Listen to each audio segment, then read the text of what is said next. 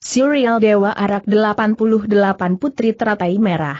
Bunyi kukuk burung hantu terdengar memecah kesunyian malam. Langit tampak bersih. Hanya ada sedikit awan yang menggantung di sana. Itu pun tipis saja. Hingga, meskipun bulan hanya sepotong namun suasana terlihat cukup terang. Dalam suasana seperti itulah tampak sesosok bayangan berkelebat cepat. Karena suasana cukup terang, Sosok bayangan itu terlihat agak jelas. Sosok itu bertubuh tinggi kurus dan berpakaian serba hitam. Wajahnya putih pucat seperti orang berpenyakitan sepasang matanya yang besar berwarna merah. Lelaki berusia sekitar 45 tahun ini berlari cepat menuju sebuah bangunan besar yang terlihat menjulang kokoh di kejauhan. Larinya cepat bukan main hingga dua kakinya bagai tak menginjak tanah. Berkat ilmu larinya yang luar biasa, lelaki berpakaian serba hitam ini dalam waktu yang tidak terlalu lama tiba di tempat yang dituju. Tanpa mengendurkan kecepatan larinya, lelaki ini melompat ke atas pagar tembok yang mengurung bangunan-bangunan di dalamnya. Tinggi pagar ini tidak kurang dari tiga tombak. Hei! Siapa kau teguran keras terdengar tiba-tiba menyambut jejak kedua lelaki tinggi kurus itu di atas pagar tembok. Lelaki tinggi kurus hanya mendengus. Dia tidak kaget mendengar teguran yang ditujukan terhadapnya. Teguran yang dikeluarkan seorang lelaki berpakaian seragam kerajaan. Tembok tempat lelaki berpakaian hitam menjejakkan kaki memang tembok yang mengelilingi istana kerajaan. Nampak dua prajurit kerajaan menjadi marah ketika lelaki berpakaian hitam tidak memberikan jawaban. Hampir berbarengan kedua prajurit yang berada di bagian dalam tembok itu mengayunkan tombaknya. Suasana malam yang hening langsung dipecahkan oleh bunyi mendesing dua batang tombak yang meluncur ke arah lelaki tinggi kurus. Tapi lelaki ini hanya mendengus penuh ejekan. Tidak terlihat kakinya diinjakan, tubuhnya sudah melayang ke atas hingga dua batang tombak itu meluncur di bawahnya. Kedua prajurit kerajaan terkejut bukan main mi lihat lelaki berpakaian hitam menjejakkan kaki di kedua batang tombak. Keterkejutan mereka semakin bertambah ketika tombak-tombak berbalik dan meluncur kembali ke arah pemiliknya dengan membawa tubuh lelaki itu di atasnya. Tombak-tombak itu meluncur mengancam dada. Bergegas keduanya merendahkan diri. Tapi tombak-tombak itu ikut menukik ke bawah. Dua jeritan menyayat hati pun dikeluarkan kedua prajurit yang malang itu. Tombak-tombak menembus hingga ke punggung. Darah munkrat-munkrat.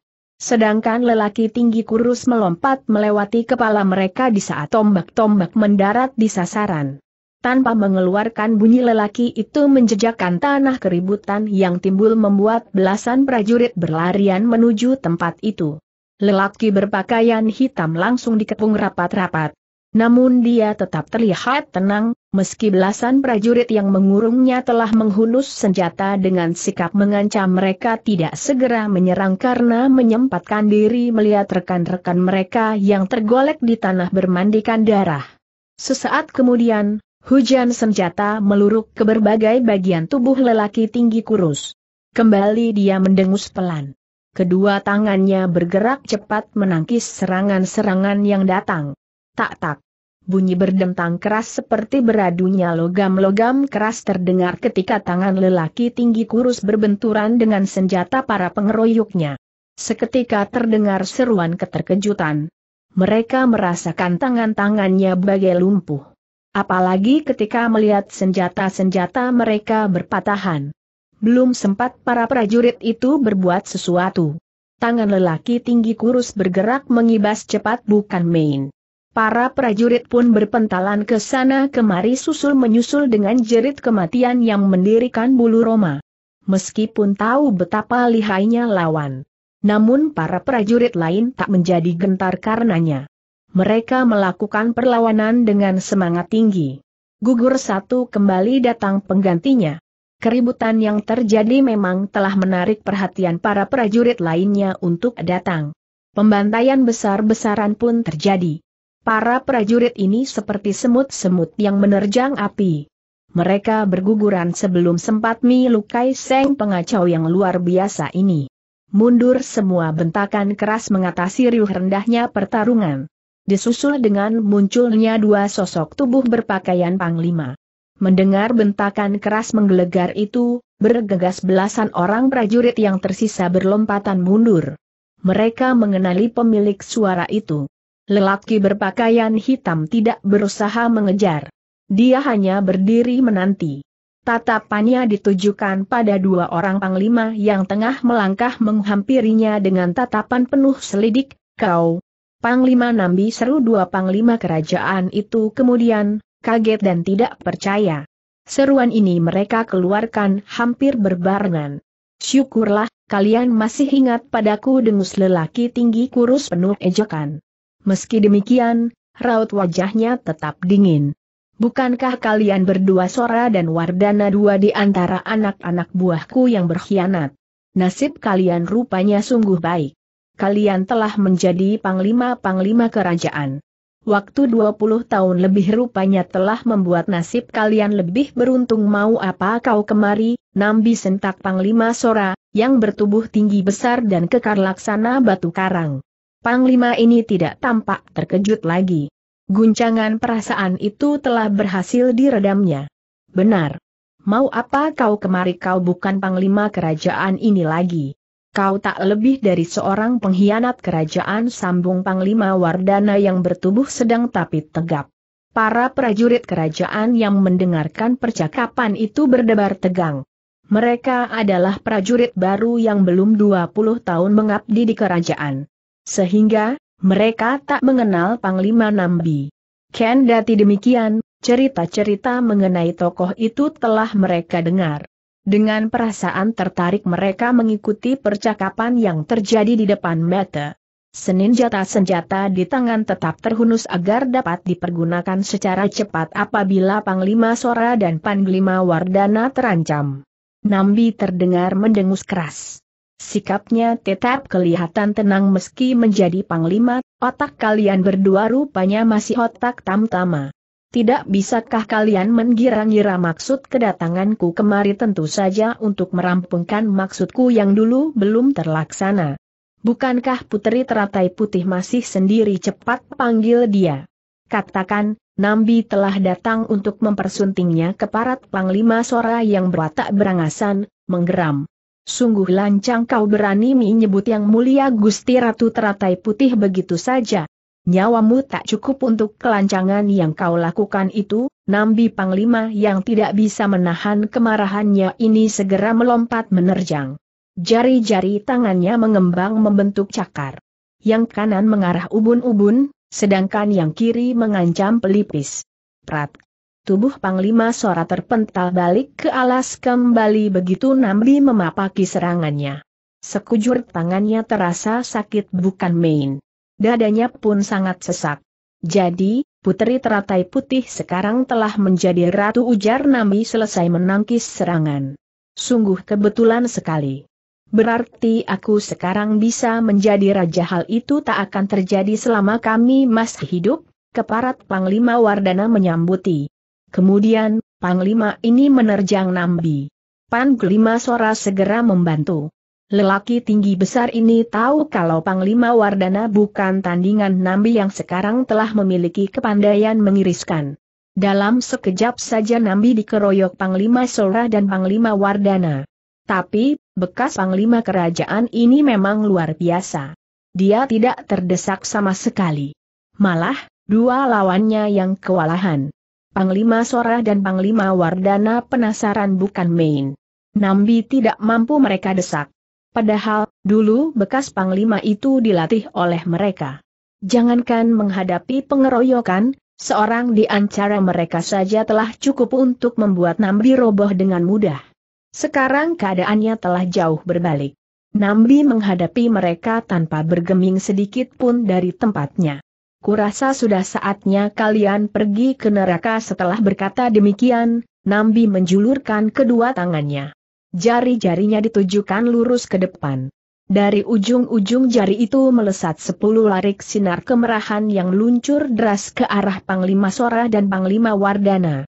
Dua Panglima gagah berani ini tidak sempat menggelak.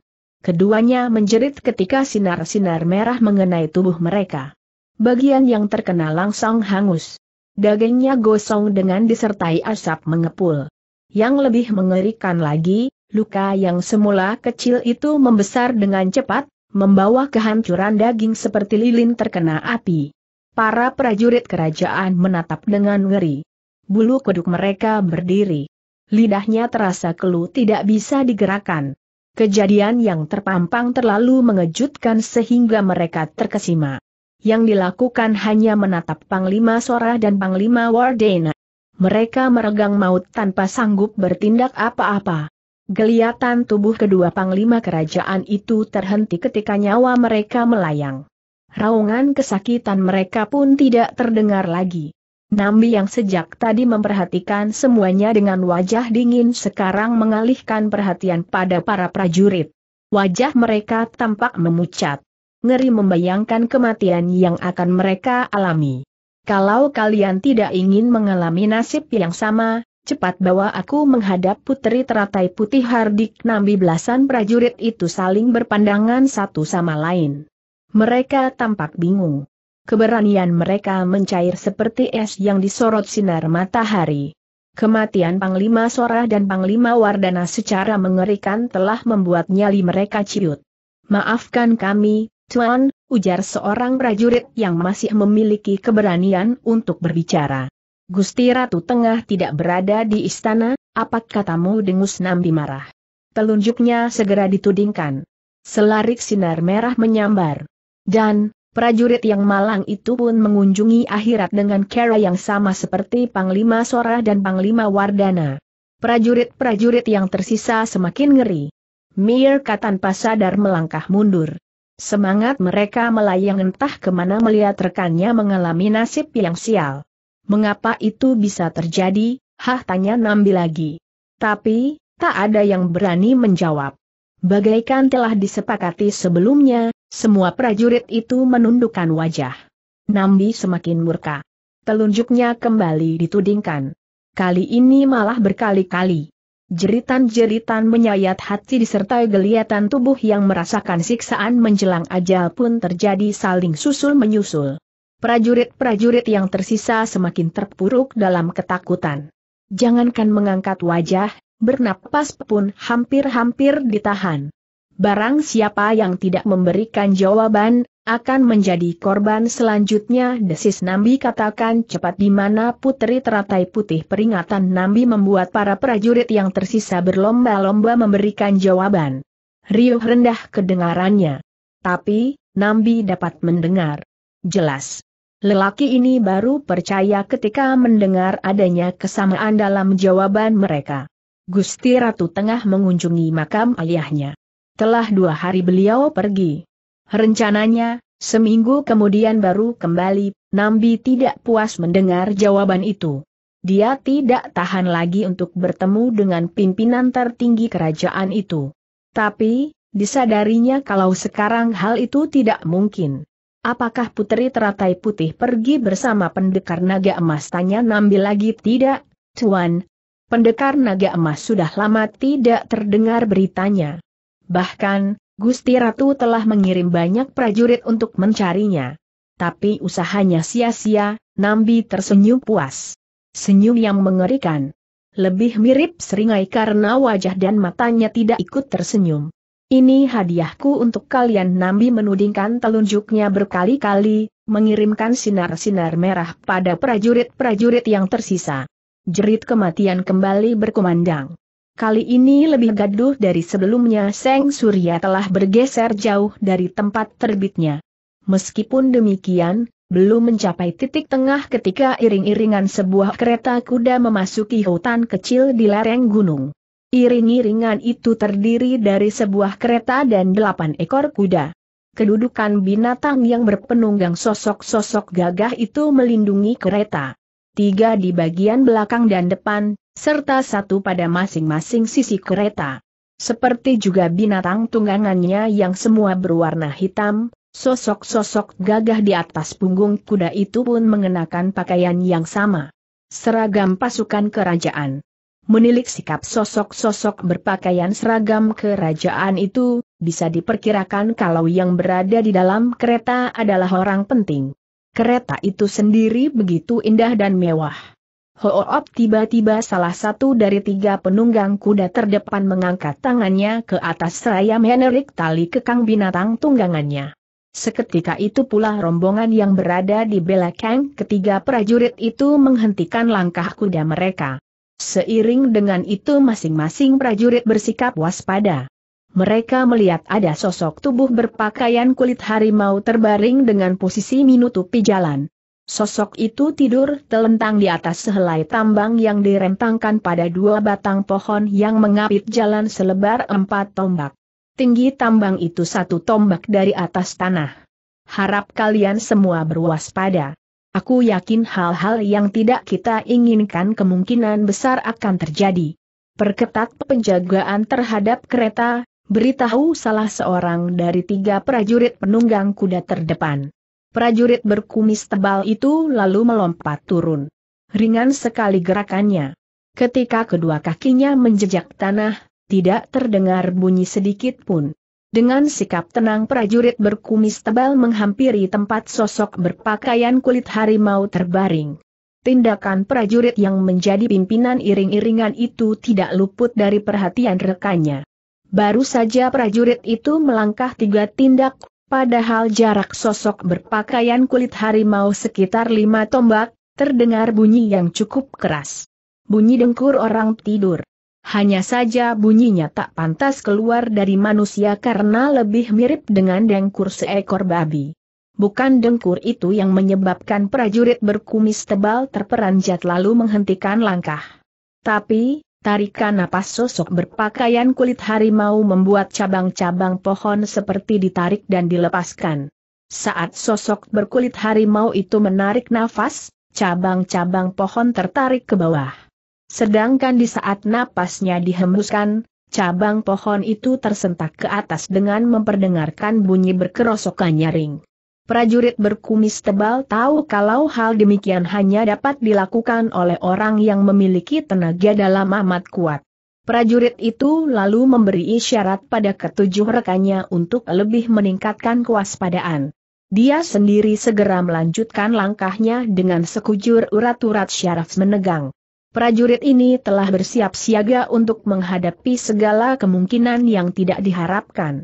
Begitu berada dekat diperhatikannya sosok berpakaian kulit harimau lebih jelas. Dia ternyata seorang kakek kecil kurus bermuka merah. Kumis dan jenggotnya pendek serta kasar. Sepasang mata kakek ini terpejam. Maafkan kalau aku mengganggu istirahatmu, kek, ucap prajurit itu kemudian dengan sopan. Tapi, aku dan kawan-kawanku hendak lewat bisakah kau menyingkir sebentar si kakek menggeliat dan menggulingkan tubuhnya ke kiri. Tindakan ini membuat tubuhnya tidak berada di atas tambang lagi. Kendati demikian, tubuhnya tecap mengambang di udara seakan-akan tidur di tanah biasa. Demi segala setan penghuni neraka tanpa membuka mata, si kakek mengomel, baru saja memejamkan mata sudah didatangi seekor anjing buduk yang tak henti-hentinya menggonggong. Nasibku memang benar-benar jelek wajah prajurit berkumis tebal langsung berubah merah padam. Dia tahu kalau dirinya yang dimaksud dengan seekor anjing. Penghinaan itu membuat amarahnya bergolak. Dan, kemarahan membuat prajurit itu melupakan kalau kakek bermuka merah memiliki kepandaian tinggi. Keparat. Rupanya kau memang hendak menghalangi perjalanan kami, kakek iblis. Ingin kulihat apakah kau mampu melaksanakan maksud jahatmu itu prajurit berkumis tebal yang telah murka mencabut pedang yang tergantung di pinggang. Kemudian, secepat kilat dibabatkannya ke tubuh si kakek anjing buduk ini benar-benar tidak tahu diri. Kiranya tak puas hanya menggangguku dengan hanya menggonggong. Sekarang dia malah hendak menggigit. Sungguh celaka sambil mengomel panjang pendek, kakek bermuka merah menggulingkan tubuh kembali ke tempat semula. Sehingga, tubuhnya kembali terbaring di atas tambang. Berbarengan dengan itu dia mendengus. Cairan kental tampak meluncur keluar dari salah satu lubang hidungnya. Cairan menjijikan itu meluncur dengan mengeluarkan bunyi berdesing nyaring memapaki pedang si prajurit. Trak, Tubuh prajurit berkumis tebal terjengkang ke belakang. Pedangnya hampir terlepas dari pegangan. Begitu berhasil memperbaiki kedudukan dan memperhatikan senjatanya, wajahnya langsung memucat. Batang pedangnya berlubang. Setan penggoda seisi bumi, kali ini nasibku sungguh mujur. Tak perlu bercapek lelah mencari telah bertemu sendiri ujar kakek bermuka merah tiba-tiba dengan gembira. Kakek ini sekarang telah berdiri tegak di tanah. Sepasang matanya yang hampir berupa satu garis minata pedang yang tergenggam di tangan prajurit berkumis tebal. Kiranya kau mempunyai hubungan dengan perkumpulan sepasang malaikat, anjing buduk kulihat balang pedangmu berwarna merah dan putih. Senjata berciri demikian hanya dimiliki perkumpulan sepasang malaikat kalau kau telah tahu mengapa tidak buru-buru menyingkir, kakek iblis apakah kau menunggu kami mengusir dengan kekerasan prajurit berkumis tebal mempunyai alasan untuk menggertak setan belang. Kau kira aku takut pada perkumpulan sepasang malaikat. Andai kata dua kakek jompo itu masih hidup pun aku tidak takut. Akan kubuktikan pada dunia persilatan kalau aku lebih lihai dari mereka sambut kakek bermuka merah, tak mau kalah mengeluarkan ancaman. Jawaban kakek bermuka merah membuat amarah prajurit berkumis tebal meluap. Dia kembali menyerang. Tiga orang rekannya meninggalkan kereta dan membantu prajurit itu menghadapi kakek bermuka merah. Pertarungan yang kelihatannya tidak adil pun berlangsung. Seorang kakek yang bertubuh kecil dikeroyok oleh empat lelaki gagah dan kekar. Seng kakek tidak bersenjata, sedangkan lawan-lawannya semua menggunakan pedang. Meski demikian, kakek bermuka merah tetap berada di atas angin. Dua tangan telanjangnya enak saja menyampoki setiap serangan yang meluncur. Padahal setiap serangan pedang prajurit-prajurit itu mengeluarkan bunyi mendesing nyaring pertanda ditopang oleh tenaga dalam yang amat kuat. Tak sampai tiga jurus empat prajurit itu jatuh satu persatu. Mereka semua terbanting keras di tanah setelah terjengkang. Empat prajurit itu pun tidak bangkit lagi. Bahkan, tidak sempat berteriak sama sekali. Di dada mereka tampak tertera telapak tangan berwarna merah. Demi segala iblis. Hanya sampai di sini sajakah kemampuan orang-orang perkumpulan sepasang malaikat tidakkah ada yang sedikit lebih pandai empat prajurit yang tersisa tersinggung mendengar ucapan penuh ejekan itu. Mereka juga sakit hati melihat kematian rekan-rekannya secara mengenaskan. Kalau saja tak mengingat penumpang di dalam kereta, sudah mereka terjang kakek bermuka mirah itu walau nyawa taruhannya. Empat prajurit itu hanya menggertakkan gigi penuh kegeraman. Mereka ingin menyambuti ucapan kakek bermuka merah, tapi tak tahu harus berkata apa. Dan rupanya mereka memang tak perlu memberikan tanggapan. Karena sesaat kemudian, terdengar sambutan atas ucapan kakek bermuka merah dengan nada dingin dan penuh ancaman. Orang gila dari mana yang berani mati menghina perkumpulan sepasang malaikat dua brak? Atap kereta yang indah dan mewah itu hancur berantakan menimbulkan bunyi gaduh ketika sesosok bayangan putih melesat dari dalam kereta. Di udara sosok ini bersalto beberapa kali sebelum menjejak tanah dengan ringannya. Tiga tombak dari kakek bermuka merah berdiri. Demi segala roh jahat yang bergentayangan. Akhirnya, muncul juga tokoh perkumpulan sepasang malaikat yang memiliki sedikit kepandaian seru kakek bermuka merah, gembira. Empat prajurit yang sejak tadi menjaga kereta segera memberi hormat kepada sosok berpakaian putih. Meski sosok itu tidak melihat karena ia berdiri membelakangi. Setelah itu, empat prajurit ini bergegas menghampiri sosok berpakaian putih. Sosok itu ternyata seorang wanita berusia sekitar 45 tahun, wajahnya yang masih terlihat cantik tampak agung berwibawa. Rambutnya digelung ke atas. Sorot wajah dan sinar matanya yang dingin memperlihatkan keangkeran. Siapa kau, kek sungguh berani membunuh anggota perkumpulan sepasang malaikat yang juga menjadi prajurit kerajaan. Untuk kesalahan itu saja kau sudah patut dihukum mati apalagi setelah berani menghina perkumpulan sepasang malaikat. Andai kata kau mempunyai nyawa sepuluh pun tidak cukup untuk menebus kesalahan itu datar dan dingin, tapi penuh ancaman kata-kata yang keluar dari mulut wanita berpakaian putih. Kau sendiri siapa, wanita galak mengapa kau yang marah aku tidak menyinggungmu? Aku sedang membicarakan tentang perkumpulan sepasang malaikat kakek bermuka merah berpura-pura tak mengerti. Kendati dia sudah bisa menduga kalau wanita itu mempunyai hubungan dengan perkumpulan sepasang malaikat aku tengah menyepi untuk memperdalam kepandaian ketika aku dengar bekas kakak seperguruan NKU tewas di tangan tokoh perkumpulan sepasang malaikat. Mengenai siapa aku, sayang aku tidak ingat namaku. Julukan pun aku tak punya. Tapi, tak ada salahnya kalau ku perkenalkan julukan baruku. Dengar baik-baik, wanita liar. Julukanku adalah Dewa Tapak Darah wajah wanita berpakaian putih tetap dingin. Tidak tampak beriak sedikit pun. Tapi, sepasang matanya yang menyambar ke arah Dewa Tapak Darah syarat dengan ancaman. Dengar baik-baik, Dewa Tapak Darah. Pasang kuping tuamu itu dengan benar. Aku adalah ahli waris tunggal perkumpulan sepasang malaikat. Salah seorang dari sepasang malaikat itu adalah ayahku. Aku masih ingat namaku, tidak pikun seperti kau. Namaku adalah teratai putih kebetulan sekali kalau begitu. Ku dengar, pimpinan-pimpinan perkumpulan sepasang malaikat sudah pergi ke akhirat, biarlah kau yang menjadi pengganti nyawa kakak seperguruanku yang tewas. Siapa kakak seperguruanmu itu, kakek lancing kejar putri teratai putih. Pengemis iblis tanpa tanding julukannya sebelum tewas jawab Dewa Tapak Darah, mantap. Berkat bantuan pendekar naga emas, ayah dan pamanmu itu berhasil membunuh kakak seperguruanku pada 20 tahun yang lalu. Pendekar keparat itu pun akan menerima balasannya dariku kau boleh bawa dendamu itu ke neraka, Dewa Tapak Darah sentak putri teratai putih keras.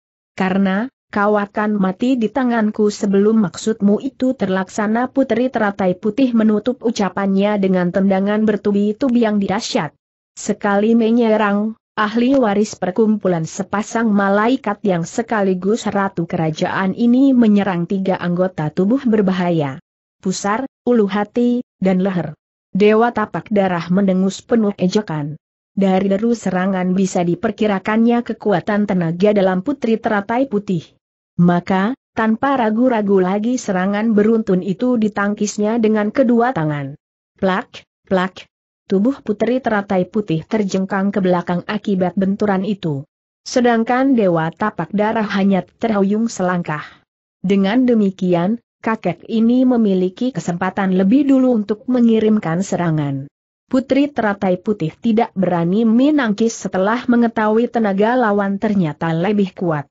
Wanita ini mengelak kemudian mengirimkan serangan balasan. Pertarungan pun tak bisa dihindarkan lagi. Pertarungan berjalan cepat. Hanya dalam waktu sebentar saja 17 jurus telah terlewatkan. Putri teratai putih terus didesak. Wanita ini yang semula gencar melakukan penyerangan sekarang lebih banyak mengelak. Padahal, putri teratai putih telah mengeluarkan senjata andalannya. Kipas baja putih. Sementara Dewa Tapak Darah masih bertangan kosong.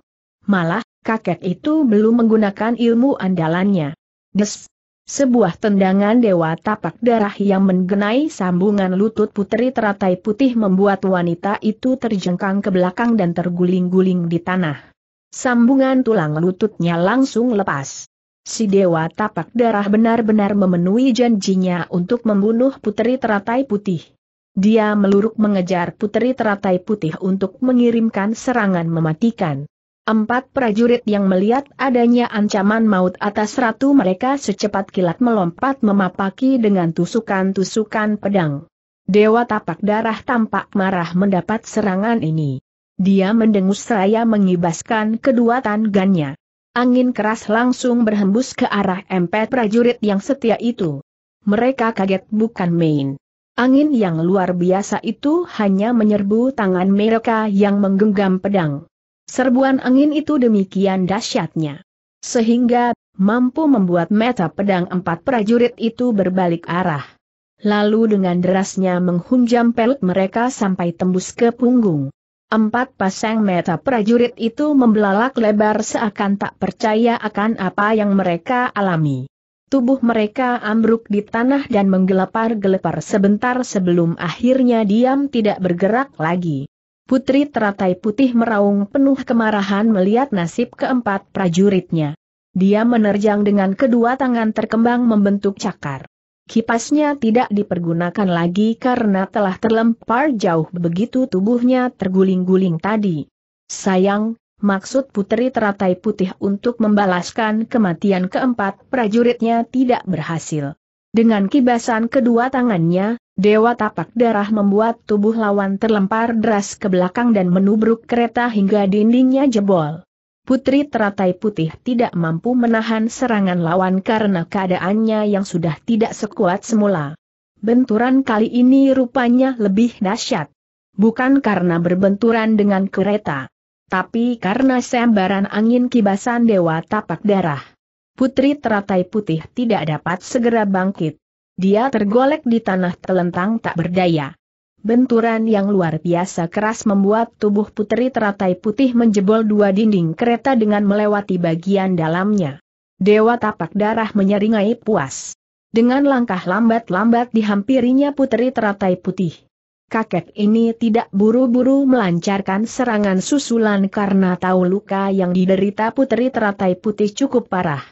Putri teratai putih menyadari akan adanya ancaman maut. Dia belum ingin mati. Maka dicobanya sekuat tenaga untuk bangkit berdiri.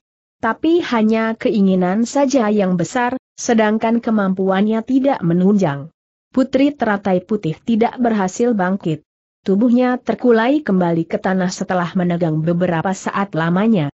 Putri teratai putih pun pasrah disadarinya kalau dirinya memang tidak berdaya lagi. Kendati demikian, dengan berani ditatapnya Dewa Tapak Darah yang telah bersiap untuk mengirimkan serangan mematikan. Hanya seorang pengecut dan tidak mempunyai rasa malu akan membunuh lawan yang telah tidak berdaya. Apalagi jika lawan itu seorang wanita suara itu tidak keras. Tapi anehnya, bergema ke sekitar tempat itu dan mampu menggetarkan semua benda yang ada di situ. Seakan-akan ada gempa kecil. Putri teratai putih dan Dewa tapak darah pun merasakan dada mereka bergetar. Dewa tapak darah tahu kalau pemilik suara itu seorang tokoh berkepandaian tinggi. Setidak-tidaknya memiliki tenaga dalam yang amat kuat. Maka, dia tidak berani memandang rendah. Buru-buru tubuhnya dibalikan karena dari arah belakang seruan itu berasal. Dewa tapak darah kecelik.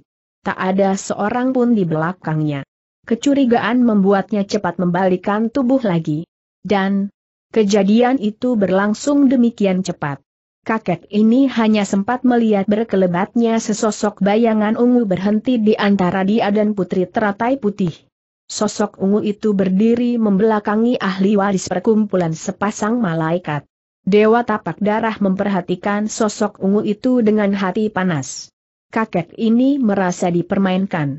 Tamu tak diundang itu rupanya telah menggunakan ilmu memindahkan suara untuk mengecohnya.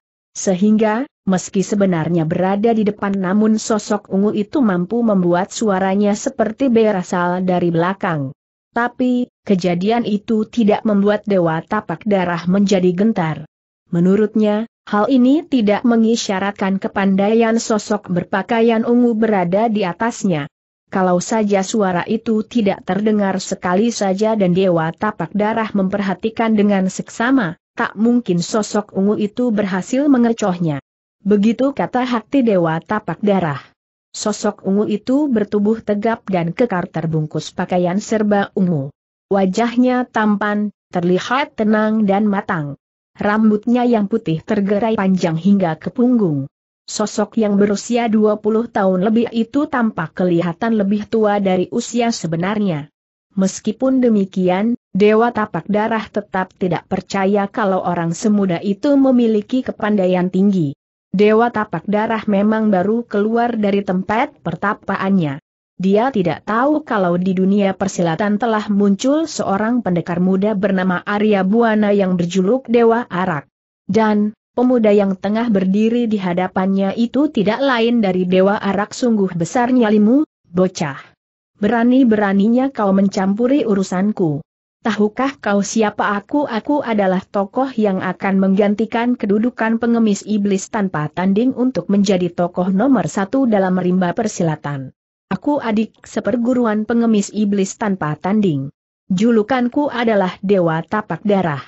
Atas kelancanganmu mencampuri urusanku ini kau akan mendapat hukuman yang setimpal, bocah dewa tapak darah menyapa Arya dengan panggilan yang merendahkan. Sayang sekali aku tidak takut dengan ancamanmu, kek. Aku lebih suka mati daripada membiarkan adanya ketidakadilan di depanku tanda Sarya mantap tanpa bermaksud menyombongkan diri. Sombong dewa tapak darah setengah menjerit karena murkanya.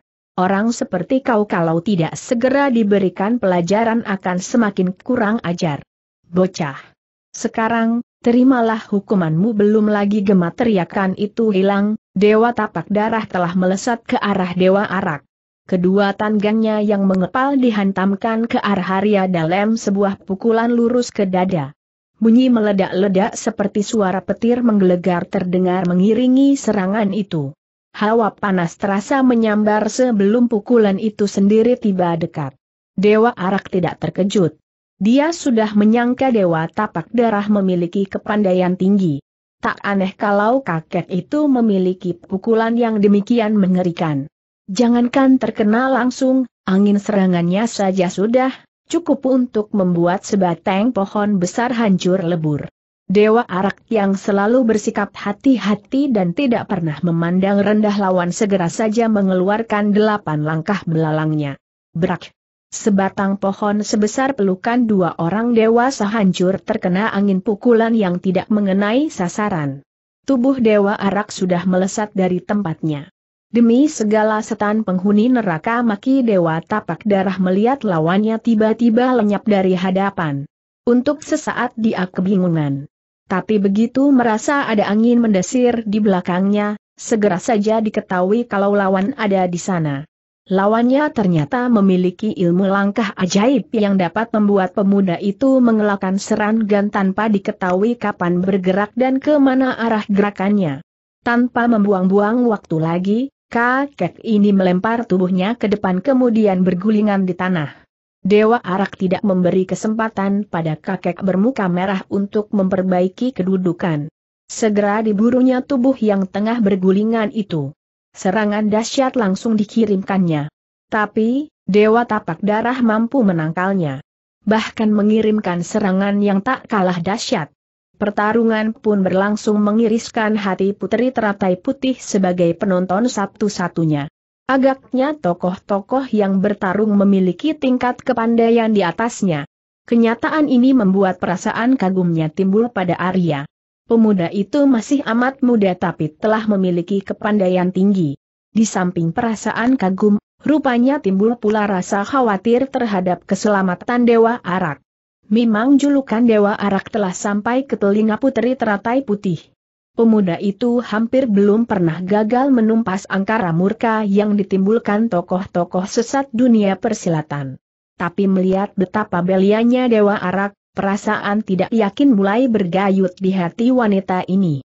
Dewa Arak sendiri harus mengakui kalau Dewa Tapak Darah memiliki kepandaian dahsyat. Seluruh kemampuannya telah dikerahkan. Namun belum juga mampu mendesak lawannya. Pertarungan masih berlangsung seimbang. Pertarungan yang berlangsung alot membuat dua tokoh yang tengah bertarung kehilangan kesabaran.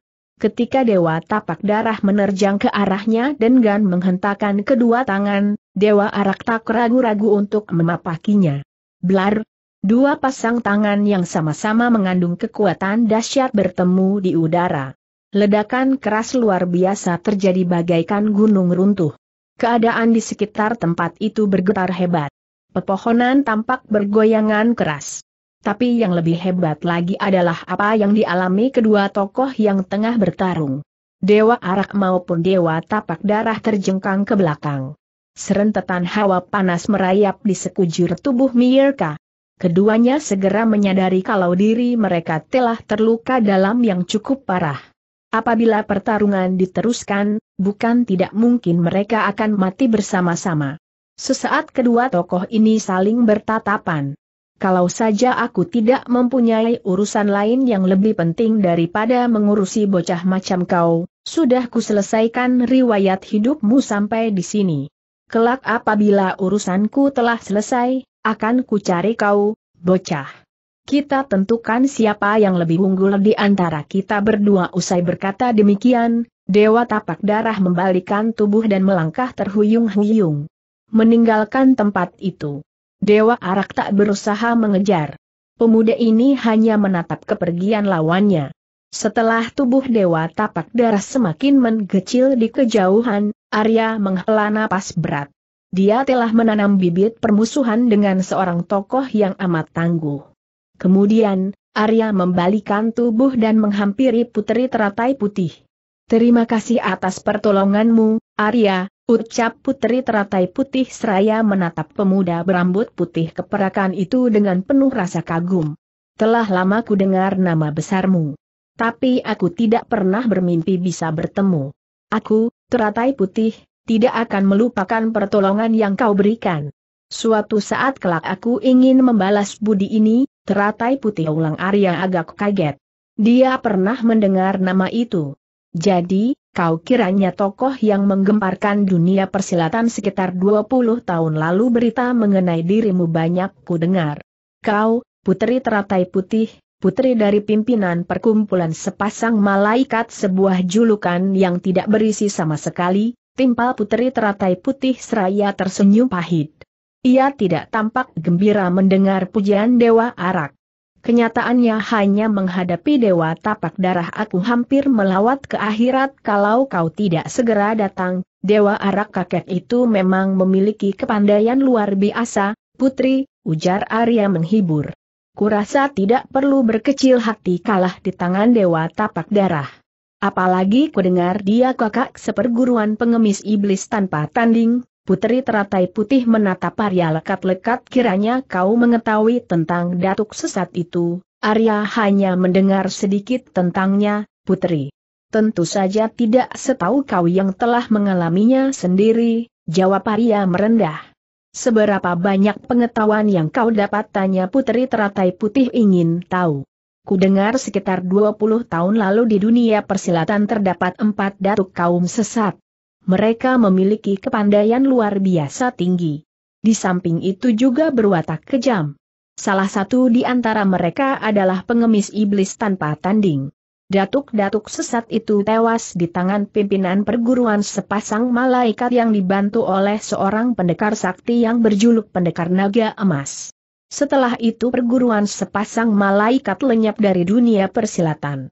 Demikian pula dengan pendekar naga emas, aku, ayah, dan seluruh murid perkumpulan sepasang malaikat memutuskan untuk mengabdi pada kerajaan di mana salah seorang adik seperguruan ayah menjadi raja, Putri Teratai Putih memberikan jawaban. Lalu, pendekar naga emas entahlah, Putri Teratai Putih menggelengkan kepala seraya menghela napas berat. Dia kelihatan sedih sekali. Wajahnya semakin bertambah suram. Arya tidak berani mengajukan pertanyaan lagi. Melihat sikap putri teratai putih, dia yakin ada sesuatu di antara pendekar naga emas dengan wanita itu. Ayahku kemudian meninggalkan istana setelah adik seperguruannya meninggal karena sakit. Sebelum wafat adik seperguruan ayah mengangkatku menjadi penggantinya. Sampai sekarang aku menjadi ratu di kerajaan itu, lanjut putri teratai putih, mengalihkan perbincangan mengenai pendekar naga emas. Maaf, bukan bermaksud untuk mengguruimu, putri. Adalah lebih tepat kalau kau memberitahukan ayahmu mengenai munculnya Dewa Tapak Darah. Aku yakin kakak seperguruan pengemis iblis tanpa tanting itu akan membalaskan sakit hatinya terhadap ayahmu. Bukankah beliau ikut andil dalam tuasnya pengemis iblis tanpa tanding ujar Arya hati-hati. Aku pun berpikir demikian, Arya, sahut putri teratai putih. Aku sendiri sebenarnya tengah bermaksud untuk mengunjungi ayahku. Dengan kejadian ini, aku harus lebih cepat tiba di sana sebelum hal-hal yang lebih buruk terjadi boleh aku menyertai perjalananmu, Putri Arya mengajukan diri. kurasa dengan keadaanmu sekarang ini kau tidak akan dapat membela diri dengan baik. Lagi pula aku tidak yakin Dewa Tapak Darah akan berdiam diri saja. Kakek itu pasti menunggu kesempatan untuk melenyapkanmu, putri teratai putih terdiam. Wanita ini tidak langsung segera memberikan jawaban. Sebuah usul yang baik, Arya, jawab putri teratai putih kemudian setelah termenung sebentar. Kau baik sekali. Sikap dan tindak tandukmu mengingatkanku akan pendekar naga emas. Dia seorang pendekar yang luar biasa, aku yakin betul akan hal itu, putri. Karena itu, aku ingin sekali berkenalan dengannya. Tidak hanya dengannya, tapi juga dengan ayahmu, putri. Barangkali saja banyak petunjuk yang berharga yang akan diberikannya padaku nanti, putri teratai putih tersenyum. Sejenak senyuman itu mengusir kabut kedukaan yang melapisi wajah dan sepasang matanya kau pandai merendah, Arya. Dengan kepandaian yang kau miliki sekarang, bagaimana mungkin ayahku bisa memberi petunjuk malah, bisa jadi kaulah yang akan memberi petunjuk pada ayahku, kau terlalu tinggi memujiku, putri, Arya tersenyum malu.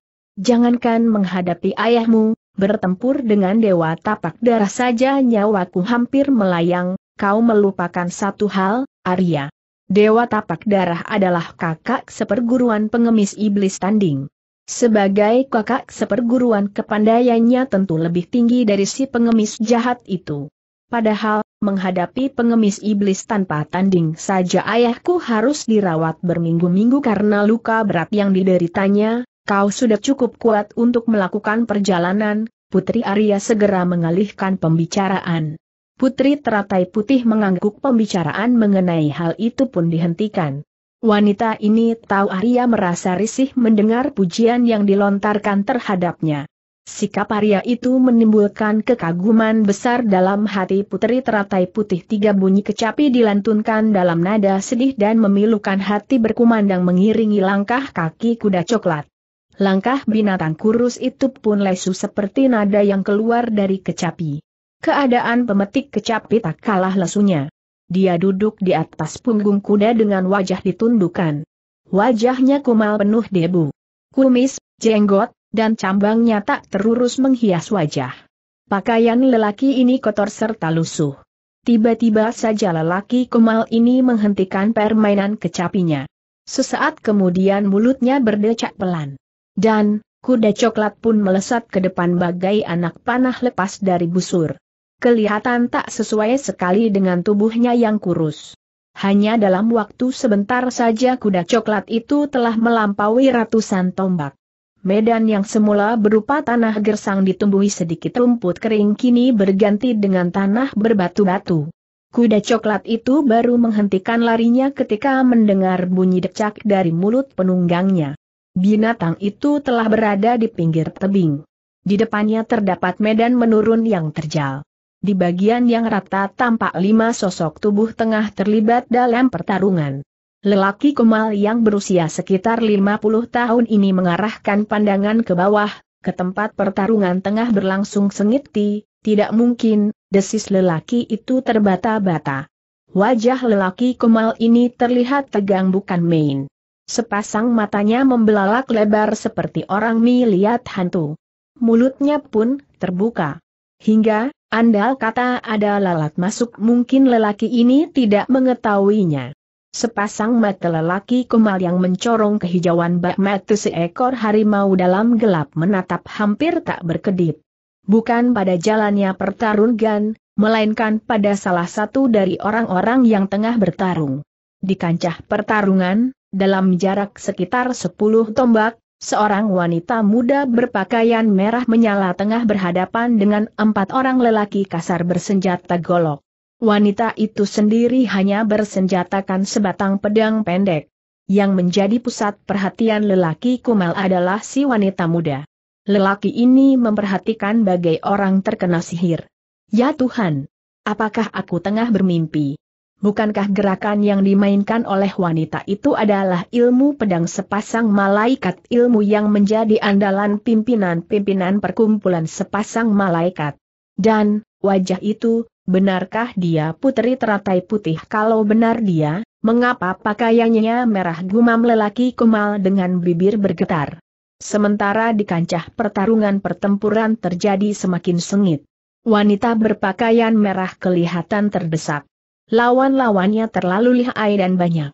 Andai kata seorang demi seorang mungkin tidak akan keluar sebagai pemenang. Kemampuan wanita itu di atas kepandaian lawan-lawannya.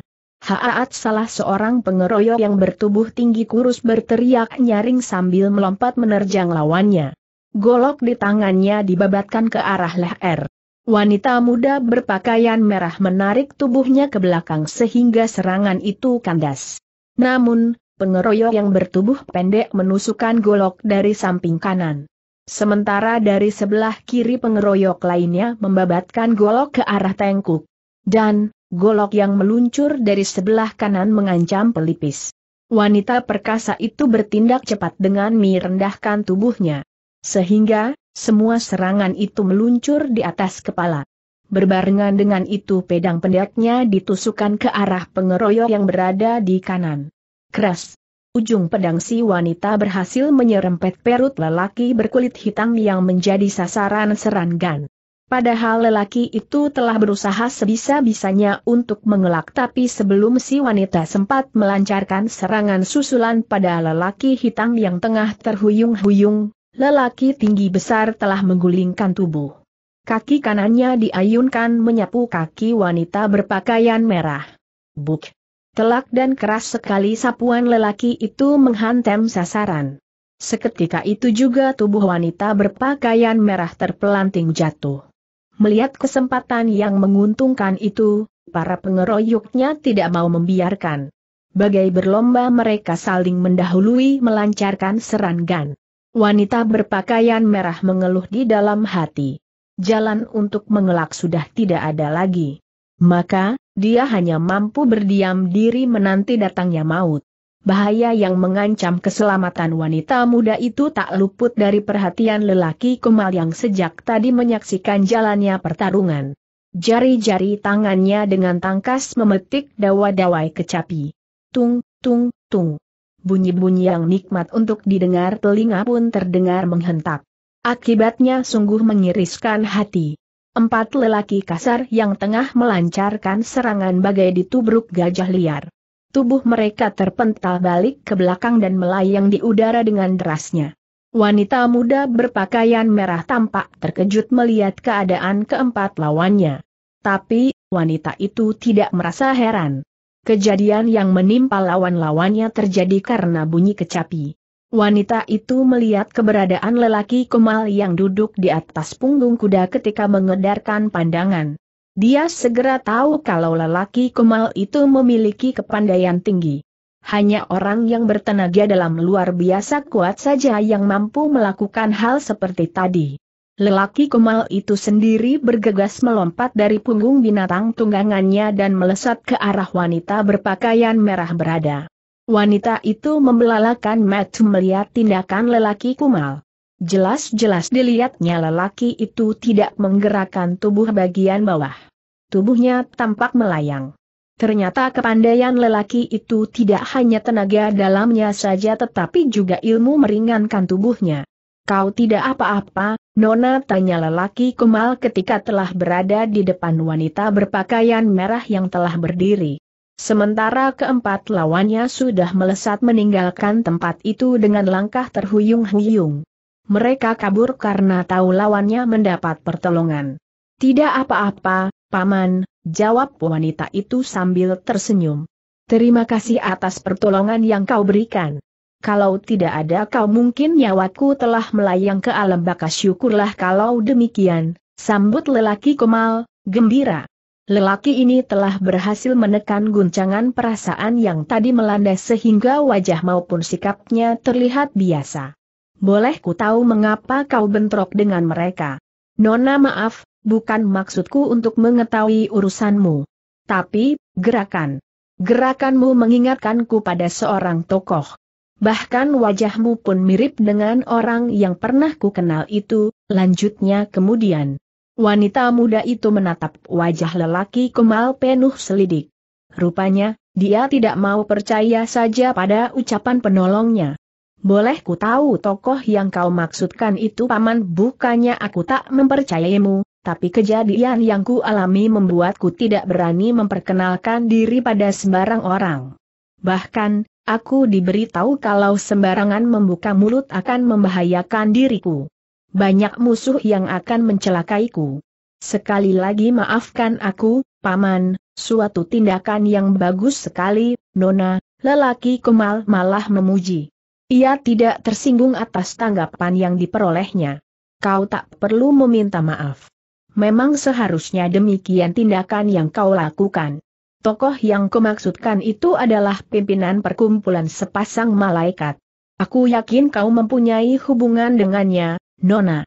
Kulihat kau menggunakan senjata berciri khas perkumpulan itu, ini tidak menjadi jaminan untuk mempercayai kalau kau bukan termasuk musuh, paman, kilah wanita muda itu belum mau percaya. Memang kuakui kalau aku mempunyai hubungan dengan orang yang kau maksudkan. Tapi, seorang musuh bisa saja mengenal setiap anggota perkumpulan sepasang malaikat dengan hanya melihat gerakan-gerakannya ada hal lebih penting yang hanya diketahui oleh sahabat-sahabat tokoh yang kau maksudkan itu.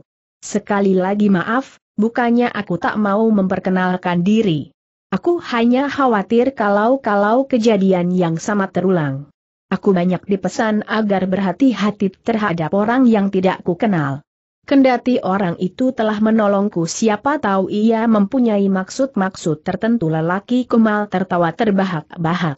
Di dalam hatinya lelaki ini merasa heran. Telah bertahun-tahun lamanya dia tidak tersenyum. Namun, sekarang dia tertawa.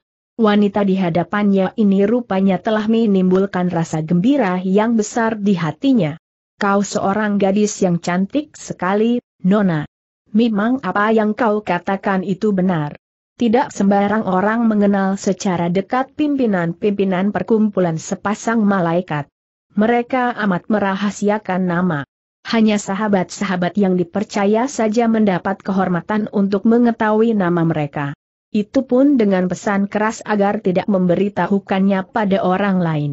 Dan, sahabat-sahabat baik itu pun berjanji memenuhinya. Sebagai seseorang yang mendapat kehormatan untuk bersahabat dengan mereka, tentu saja aku tahu nama-nama pemimpin perkumpulan sepasang malaikat itu tandas lelaki kumal. Wanita muda berpakaian merah membisu menunggu kelanjutan ucapan lelaki kumal. Sorot kecurigaan pada sepasang matanya tampak sudah jauh berkurang. Apa yang dikatakan lelaki itu diakui kebenarannya. Pimpinan-pimpinan perkumpulan sepasang malaikat memang amat merahasiakan nama mereka. Dengar baik-baik, Nona. Katakan kalau aku tidak benar menyebutkan nama mereka. Orang yang tertua bernama Banyak Ngampar. Sedangkan yang lebih muda bernama Banyak Catra. Ada satu lagi adik seperguruan mereka yang tidak ikut dalam kepengurusan perguruan. Jarang orang yang tahu karena tokoh ini menjadi raja pada sebuah kerajaan. Nama tokoh ini adalah Banyak Santang. Sedangkan wajahmu yang kukatakan tadi mirip seseorang adalah putri dari Banyak Catra. Namanya Teratai Putih. Orang-orang lebih mengenalnya sebagai Putri Teratai Putih, jelas lelaki kumal panjang lebar. Wanita berpakaian merah tersenyum. Lelaki Kumal harus mengakui kalau senyum itu membuat wajahnya menjadi berlipat kali lebih cantik. Kau benar-benar salah seorang sahabat, Paman, ujar wanita itu dengan penuh perasaan lega. Bahkan, lebih dari seorang sahabat. Apa yang kau ketahui demikian banyak? Namaku Teratai Merah, Putri Teratai Merah. Memang mirip dengan nama Putri Teratai Putih. Tapi, tidak berarti ada hubungan antara aku dengan Putri Teratai Putih. Hubungan yang ada hanyalah karena aku menjadi murid ayahnya, sudah kuduga kalau kau murid dari banyak catra, teratai merah, ujar lelaki kemal menyebut wanita itu dengan namanya. Kau sendiri siapa, paman mendengar pengetahuanmu yang banyak itu aku yakin kau merupakan sahabat yang paling dipercaya. Siapakah kau paman tanggapan dari pertanyaan putri teratai merah adalah tundukan kepala lelaki kumal. Terdengar hilaan napas berat dari mulutnya. Kentara jelas kalau pertanyaan itu menimbulkan kenangan yang tak menggembirakan hatinya. Putri teratai merah yang tak menyangka hal itu menjadi tidak enak karenanya. Maafkan kalau pertanyaanku menyusahkan hatimu, Paman. Kurasa lebih baik kau tidak usah menjawabnya.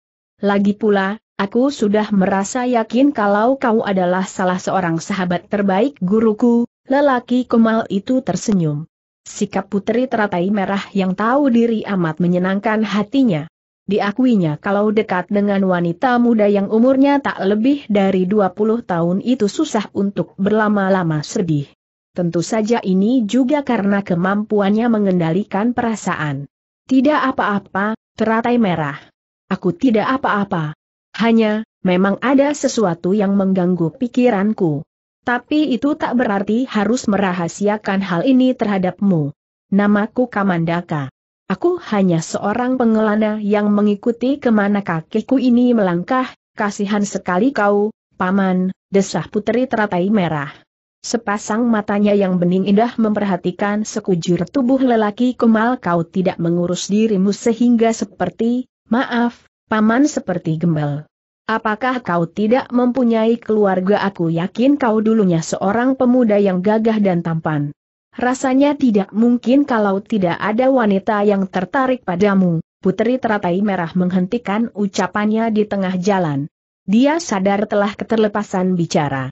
Percakapan itu membawa mereka ke masa silam lelaki kemal yang tidak menggembirakan. Dan, dia merasa menyesal telah kembali menyinggungnya. Tapi, penyesalan itu pupus ketika dilihatnya tanggapan Kamandaka. Lelaki kemal ini tertawa geli. Dia tidak tampak bersedih seperti perkiraan putri teratai merah. Kau ini bisa saja, teratai merah. Kalau ada wanita yang menyukaiku, mana mungkin sampai sekarang aku masih sendiri aku tak menarik wanita mana pun teratai. Mana ada wanita yang tertarik pada gembel sepertiku ujar Kamandaka. Putri teratai merah ikut tertawa. Kamandaka harus mengakui kalau gadis ini benar-benar mirip dengan putri teratai putih yang dikenalnya. Tidak hanya wajah, tapi juga caranya tertawa. Putri teratai merah pun memiliki kecantikan yang tak kalah dengan putri teratai putih. Kecantikan kedua wanita, itu hampir sama. Putri teratai merah memang memiliki kecantikan luar biasa. Kulitnya putih halus hidungnya yang mancung serta sepasang bibir merah tipisnya menggundang orang untuk menciumnya. Kecantikan itu masih ditunjang lagi dengan bentuk tubuhnya yang indah dan padat berisi. Kau hendak ke mana? Teratai tanya Kamandaka setelah tawa mereka reda. Bukankah tempat tinggal gurumu jauh dari sini? Kudengar mereka semua tinggal di istana kerajaan, Putri Teratai Merah menghela napas berat aku sendiri tidak tahu mengapa, Paman. Guru pindah dari istana dengan membawaku setahun setelah tinggal di sana. Paman guru banyak santang telah meninggal dunia karena sakit-sakitan. Aku sekarang tinggal bersama kakek guru, lalu, Putri Teratai Putih desak Kamandaka ingin tahu. Putri Teratai Putih tetap tinggal di istana. Tapi, setahun sekali beliau berkunjung ke tempat kami. Beliau amat baik hati. Dia sangat memperhatikanku, Paman. Malah, sejak sepuluh tahun lalu setiap tiga purnama sekali beliau datang berkunjung. Putri teratai putih cantik sekali, paman, tutur putri teratai merah. Dia memang cantik sekali, teratai, jawab Kamandaka. Tapi, kau pun tidak kalah cantiknya. Kau memiliki wajah dan potongan tubuh yang mirip sekali dengannya. Di waktu muda dulu aku pernah melihatnya. Tidak ada bedanya sedikit pun denganmu. Hanya warna pakaian saja kalian berdua memiliki perbedaan yang menyolok. Putri teratai putih menyukai warna-warna putih. Sedangkan kau warna merah. Sepertinya kalian berdua hampir tidak mempunyai perbedaan sama sekali. Malah, aku menduga kau adalah putrinya Hei Hai Hai Putri teratai merah tertawa gelis seakan-akan ada sesuatu yang lucu. Mengapa kau tertawa? Teratai ada yang lucu tanya Kamandaka dengan mulut menyunggingkan senyum. Tawa geli putri teratai merah mendorongnya untuk ikut merasa geli. Bagaimana aku tidak tertawa, paman? Seletuk putri teratai merah dengan setengah tertawa. kau menyangka aku putri dari orang yang belum menikah. Bagaimana putri teratai putih bisa mempunyai anak kalau suami saja dia tidak punya jadi, putri teratai putih belum bersuami sampai sekarang tanya Kamandaka terkejut dan setengah tak percaya. Putri teratai merah mengangguk. Aku pun merasa heran, paman, gadis cantik ini mendesah. Orang secantik beliau mana mungkin tidak disukai laki-laki. Bahkan, Semasa dia menjadi putri angkat paman banyak santang tak terhitung pangeran-pangeran dan raja-raja yang melamarnya. Aneh memang sama sekali tidak kusangka, gumam Kamanda Kapelan seperti pada dirinya sendiri. Apa yang tidak paman sangka putri teratai putih, jawab Kamandaka. Mengapa tidak bersuami menurut cerita guru, putri teratai putih tidak bisa menerima orang lain untuk menjadi suaminya kecuali pendekar naga emas. Mengingat pendekar itu aku menjadi gemas, paman. Ingin ku jawar telinganya. Bahkan, ingin sekali ku tuding-tuding dia. Sungguh tak pantas perbuatannya meninggalkan putri teratai putih yang demikian cantik dan berbudi. Wanita bagaimana lagi yang ingin dicarinya betapapun guru memuji-mujanya setinggi langit, aku tidak kagum padanya. Lelaki macam apa dia aku dengar dia dan putri teratai telah saling mencinta, tapi mengapa dia pergi begitu saja putri teratai merah berbicara dengan penuh semangat. Wanita itu kelihatan penasaran sekali. Wajahnya merah padam. Kedua tangannya yang berjari-jari lunak serta halus dikepalkan. Andai kata pendekar naga emas ada di depannya, mungkin saat itu juga akan terjangnya. Kamandaka hanya membisu. Putri teratai merah tak berbicara lagi. Keheningan pun tercipta. Jadi, kau meninggalkan gurumu untuk mencari pendekar naga emas, teratai Kamandaka memecahkan keheningan. Sekalian, Paman. Aku bermaksud hendak mengunjungi putri teratai putih. Tentu saja mengenai niat untuk membuat perhitungan dengan pendekar pengecut itu tidak kukatakan pada guru. Aku bisa dimarahinya habis-habisan. Entah apa yang membuat guru demikian menghormati pendekar pengecut itu. Apakah karena pertolongannya di waktu menghadapi penyerbuan iblis-iblis yang merajai kaum sesat mungkin sekali, teratai, sahut Kamandaka menanggapi dugaan putri teratai merah, padahal, kalau menurut pendapatku orang yang berjuluk pendekar naga emas itu memang tidak patut mendapatkan penghormatan demikian besar, bagus sekali, Paman. Kalau demikian kita sepaham. Dengan adanya dirimu mungkin aku bisa memenuhi keinginanku itu. Masalahnya, menurut guru, kepandaian pendekar naga emas itu amat tinggi. Bahkan, katanya lebih tinggi dari kepandaian guru. Bagaimana mungkin aku bisa menjewer telinganya tapi dengan adanya kau, guru tidak akan berani memarahiku. Tentu saja kalau kau membelaku, paman. Bukankah kau sahabat baik guru bagaimana, paman? Apakah kau mau membantuku dengan segala senang hati? Teratai Kamanda mengangguk, mantap. Ah, terima kasih, paman. Kau baik sekali. Aku yakin paman akan memenuhi permintaanku. Bahkan aku yakin paman akan membuat pendekar pengecut itu terkentut-kentut melarikan diri. Paman kan mempunyai kepandaian tinggi seru putri teratai merah, gembira. Kamandaka tak tahan untuk tidak tertawa mendengar perkataan terakhir Putri Teratai Merah. Perkataan gadis itu memang lucu untuk didengar. Membuat pendekar naga emas jadi terkentut-kentut. Gelak tawa kembali terdengar. Kamandaka dan Putri Teratai Merah tertawa geli.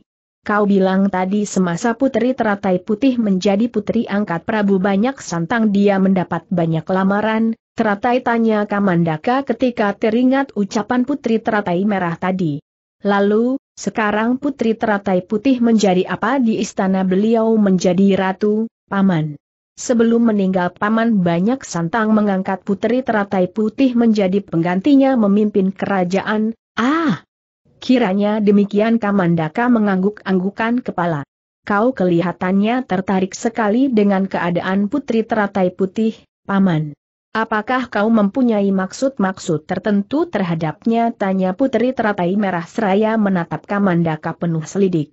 Tidak ada maksud apa-apa, Teratai, Jawab Kamandaka sedikit kekuk melihat sikap putri teratai mirah yang menyelidikinya. Aku hanya merasa heran saja. Tapi, aku pun kagum atas keteguhan cinta kasihnya pada pendekar naga emas. Apakah kau termasuk orang yang menyukai putri teratai putih, paman desak putri teratai merah, tak puas dengan jawaban yang diberikan Kamandaka. Kamandaka lebih dulu menghela napas berat sebelum menganggukkan kepala. Tapi, aku bagaikan pungguk merindukan bulan, teratai. Mana mungkin putri teratai putih yang memiliki kedudukan demikian tinggi akan sudi berjodoh denganku putri teratai merah dapat menangkap kepedihan dalam keluhan Kamandaka. Rasa iba tiba-tiba terpatri di hatinya. Apakah penyebab kau tidak mengurus dirimu adalah putri teratai putih yang tidak bisa kau persunting? Paman Kamandaka tidak segera menjawab pertanyaan itu. Ditatapnya wajah putri teratai merah lekat-lekat. Bulu kuduk gadis itu jadi merinding melihat sepasang metu yang mencorong kehijauan tertuju lurus ke arahnya. Sinar metu yang seakan mampu membaca isi hati dan pikirannya. Hanya kepadamu aku membuka rahasia ini, Teratai. Mungkin karena sikapmu dan keberadaanmu yang mengingatkan aku akan dia, aku sendiri tidak tahu pasti. Yang jelas, Sejujurnya ku katakan, ia putri teratai merah serta Kamandaka lalu membisu. Suasana menjadi hening. Tapi, keheningan itu tidak berlangsung lama. Kamandaka segera memecahkannya. Mengapa kita menjadi cengeng begini, teratai? Kalau terus menuruti perasaan, kapan urusan yang ingin kita selesaikan bisa beres kau benar, paman? Putri teratai merah bagai digugah dari lamunannya. Aku memang sudah tidak sabar untuk berjumpa dengan pendekar pengecut itu kalau demikian, mari kita berangkat ajak Kamandaka. Putri teratai merah segera menganggukkan kepala. Mereka berdua pun kemudian bergegas mengayuhkan langkah meninggalkan tempat itu empat hahaha terdengar suara tawa keras memecah kesunyian. Tampak sesosok tubuh berpakaian serba merah yang tengah bersemadi membuka matanya dan memandang ke arah asal suara tawa menggelegar yang membuat isi dadanya tergetar. Enam tombak di hadapan kakek berpakaian merah itu terlihat berdiri seorang pemuda berwajah tampan. Bibirnya tersenyum sinis. Dan, sepasang matanya berkilat-kilat tajam. Pemuda itu berusia sekitar 20 tahun, kulitnya kekuningan seperti juga warna pakaiannya. Di kiri pinggangnya terselip sebatang pedang kaget, malaikat merah tanya pemuda itu mengejek. Sikapnya terlihat memandang rendah kepada orang di depannya. Kakek yang berjuluk malaikat merah adalah salah seorang dari pimpinan perkumpulan sepasang malaikat. Kakek itu kini bangkit berdiri dengan sikap waspada. Pameran tenaga dalam yang disalurkan lewat suara tadi menyebabkannya berhati-hati. Siapa kau, anak muda? Tanya malaikat merah tanpa mempedulikan pertanyaan pemuda itu. Sepasang mata kakek ini menelusuri sekujur tubuh pemuda di depannya dengan perasaan kaget yang tidak dapat disembunyikan. Kau kenal hantu rambut emas tanya pemuda itu. Terdengar dingin dan datar suaranya. Apa hubunganmu dengannya malaikat merah malah balas mengajukan pertanyaan. Ia merasakan tiba-tiba jantungnya berdebar-debar keras. Wajah kakek berpakaian merah ini seketika berubah. Dia kenal betul siapa hantu rambut emas. Tokoh itu adalah salah satu dari tiga datu kaum sesat yang tewas di tangannya. Aku masih terhitung adik seperguruannya, lanjut pemuda itu. Apa sepasang mata malaikat merah terbelalak bagaikan melihat hantu? Kau terkejut, malaikat merah sekarang kau tentu sudah tahu maksud kedatanganku kemari, bukan belum juga gemak ucapannya habis, adik seperguruan hantu rambut emas telah melesat menerjang malaikat merah. Jari-jari kedua tangannya terbentang lurus. Tangan kanannya ditusukkan ke arah leher, sedangkan tangan kiri terpalang di depan dada. Angin berdesir tajam, seakan-akan yang meluncur sebatang pedang yang amat tajam. Malaikat merah mengenal serangan berbahaya. Maka, buru-buru digeser kakinya ke samping sehingga serangan itu meleset beberapa jari di samping tubuhnya. Berat. Malaikat merah terkejut bukan main. Pakaian pada bahu bagian kanan robek memanjang seperti tersayat pedang. Malaikat merah yang telah kenyang pengalaman segera tahu kalau hal itu terjadi akibat angin serangan lawan yang menyerempet pakaiannya. Ilmu tangan sakti pedang dan golok kakek berpakaian merah itu tampak terkejut bukan main. Ilmu tangan sakti pedang dan golok amat dikenal oleh malaikat merah. Karena, kakek itu pernah melihat seorang tokoh menggunakannya. Sebuah ilmu yang mempunyai keistimewaan membuat tangan pemiliknya tak ubahnya pedang dan golok. Malah bagi yang memiliki tenaga dalam amat kuat, angin serangannya saja tak kalah dahsyatnya dengan tusukan atau babatan pedang. Ilmu itu diketahui secara pasti oleh malaikat merah, dan dimiliki oleh seseorang yang amat dikaguminya. Pendekar naga emas. Tapi, Mengapa pemuda berpakaian kuning ini memilikinya dari mana ilmu itu didapatkannya malaikat merah menggeram. Terdengar bunyi berkerotokan keras dari sekujur tubuhnya seakan tulang belulangnya berpatahan. Padahal, kakek ini tidak menggerakkan tangan atau kaki. Uap tipis tampak mengepul dari sekujur tubuhnya. Diawali teriakan melengking nyaring, malaikat mirah menerjang pemuda berpakaian kuning pemuda itu tidak tinggal diam. Langsung dibalasnya serangan itu dengan tak kalah dahsyat dalam waktu sebentar saja pertarungan telah berlangsung puluhan jurus. Selama itu malaikat merah senantiasa berada di pihak yang terdesak. Malah, sering kakek ini hanya mampu bermain mundur. Malaikat merah sadar kalau pemuda yang mengaku adik seperguruan hantu rambut emas ini tak akan mungkin dikalahkannya. Ingin rasanya mengadu nyawa. Tapi, ada sesuatu yang membuatnya tidak ingin melakukan hal itu. Kakek ini tidak ingin pemuda yang menjadi lawannya itu mati konyol. Ayah sesosok tubuh berpakaian putih yang melesat dari arah lereng berteriak keras. Nada suaranya menyiratkan keterkejutan dan kekhawatiran. AKH malaikat merah tak kuasa untuk menahan jeritan. Jari-jari tangan lawan menusuk bahu kanannya hingga tembus. Darah munkrat-munkrat. Untungnya kakek ini masih sempat melempar tubuhnya ke belakang. Hanya saja, karena keadaannya yang tidak menguntungkan, tubuhnya jatuh terguling-guling. Malaikat merah benar-benar memiliki kekerasan hati yang luar biasa. Dengan sigap dia kembali bangkit dan bersiaga untuk menghadapi segala kemungkinan yang terjadi. Keadaan kakek ini benar-benar mengenaskan. Seluruh pakaiannya koyak-koyak bagai tersayat-sayat senjata tajam. Bahkan, pada beberapa bagian tubuhnya terdapat garis kemerahan memanjang. Meskipun demikian, teriakan yang amat dikenalnya membuat malaikat merah menyempatkan diri untuk mengalihkan perhatian ke arah asal suara. Putih. Cepat pergi dari sini. Cepat teriak malaikat merah, kalap. Tapi sosok yang dipanggil malaikat merah dengan nama putih, yang bukan lain adalah putri teratai putih, tidak memenuhi perintah itu. Dia malah meneruskan langkahnya dan berhenti di sebelah kakek berpakaian merah. Sementara itu pemuda berpakaian kuning rupanya yakin sekali akan kemenangannya. Dia tidak segera melancarkan serangan. Yang dilakukannya adalah berdiri tegak dengan kedua tangan di depan dada. Sepasang matanya menatap putri teratai putih dengan sorot meremehkan. Di saat yang bersamaan putri teratai putih pun menatap si pemuda. Dan, wanita ini langsung melongo. Sepasang matanya membelalak lebar bagaikan melihat hantu. Mulutnya ternganga. Wajah wanita ini pucat pasi dan kedua kakinya menggigil. Ayah, rintih putri teratai putih dengan suara pelan. Apakah aku tidak tengah bermimpi? Katakan kalau aku tengah bermimpi. Ayah. Katakan malaikat merah menggenggam tangan putri teratai putih.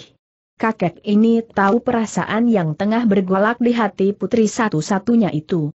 Hal ini membuatnya merasa terharu. Tidak, putih, malaikat merah menggeleng. Kau tidak tengah bermimpi.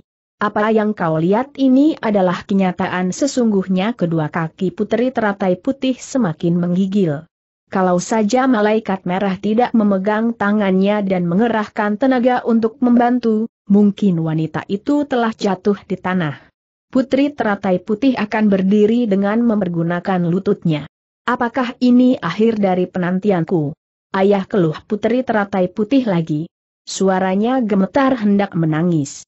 Kelihatan jelas kalau wanita ini menderita guncangan batin yang hebat mungkinkah pemuda itu putra dia. Ayah malaikat merah mengepalkan tangan kirinya. Kakek ini kelihatan geram. Putrinya tengah menderita tekanan batin yang hebat. Tapi, rasa iba yang besar juga melanda hati kakek ini. Malaikat merah tiba-tiba merasa marah sekali. Entah kepada siapa kemarahan itu ditujukannya. Aku yakin demikian, putih, jawab malaikat merah sejujurnya. Untuk mengatakan pendapat yang diyakininya menghancurkan hati putri teratai putih malaikat merah beberapa kali menelan ludah membasahi tenggorokannya yang mendadak kering. Kalau tidak demikian, mana mungkin ada seorang pemuda yang demikian mirip dengannya, Bak Pinang dibelah dua melihat pemuda itu tak ubahnya melihat, kekasihmu itu di waktu muda.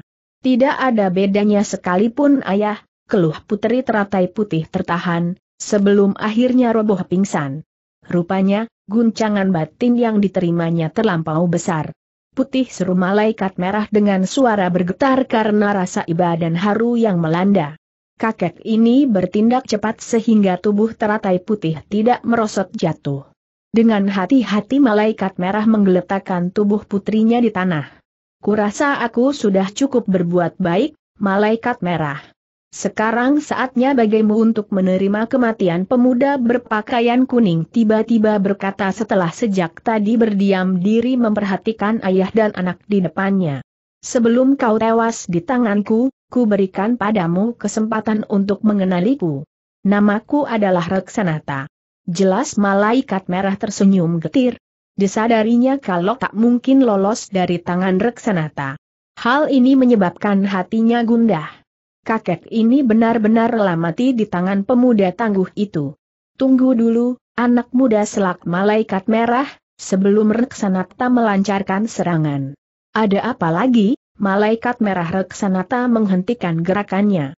Kesempatan yang kuberikan untukmu bukan berarti kau bisa memohon ampunan aku tidak ingin meminta ampunan darimu, Reksanata sentak malaikat merah.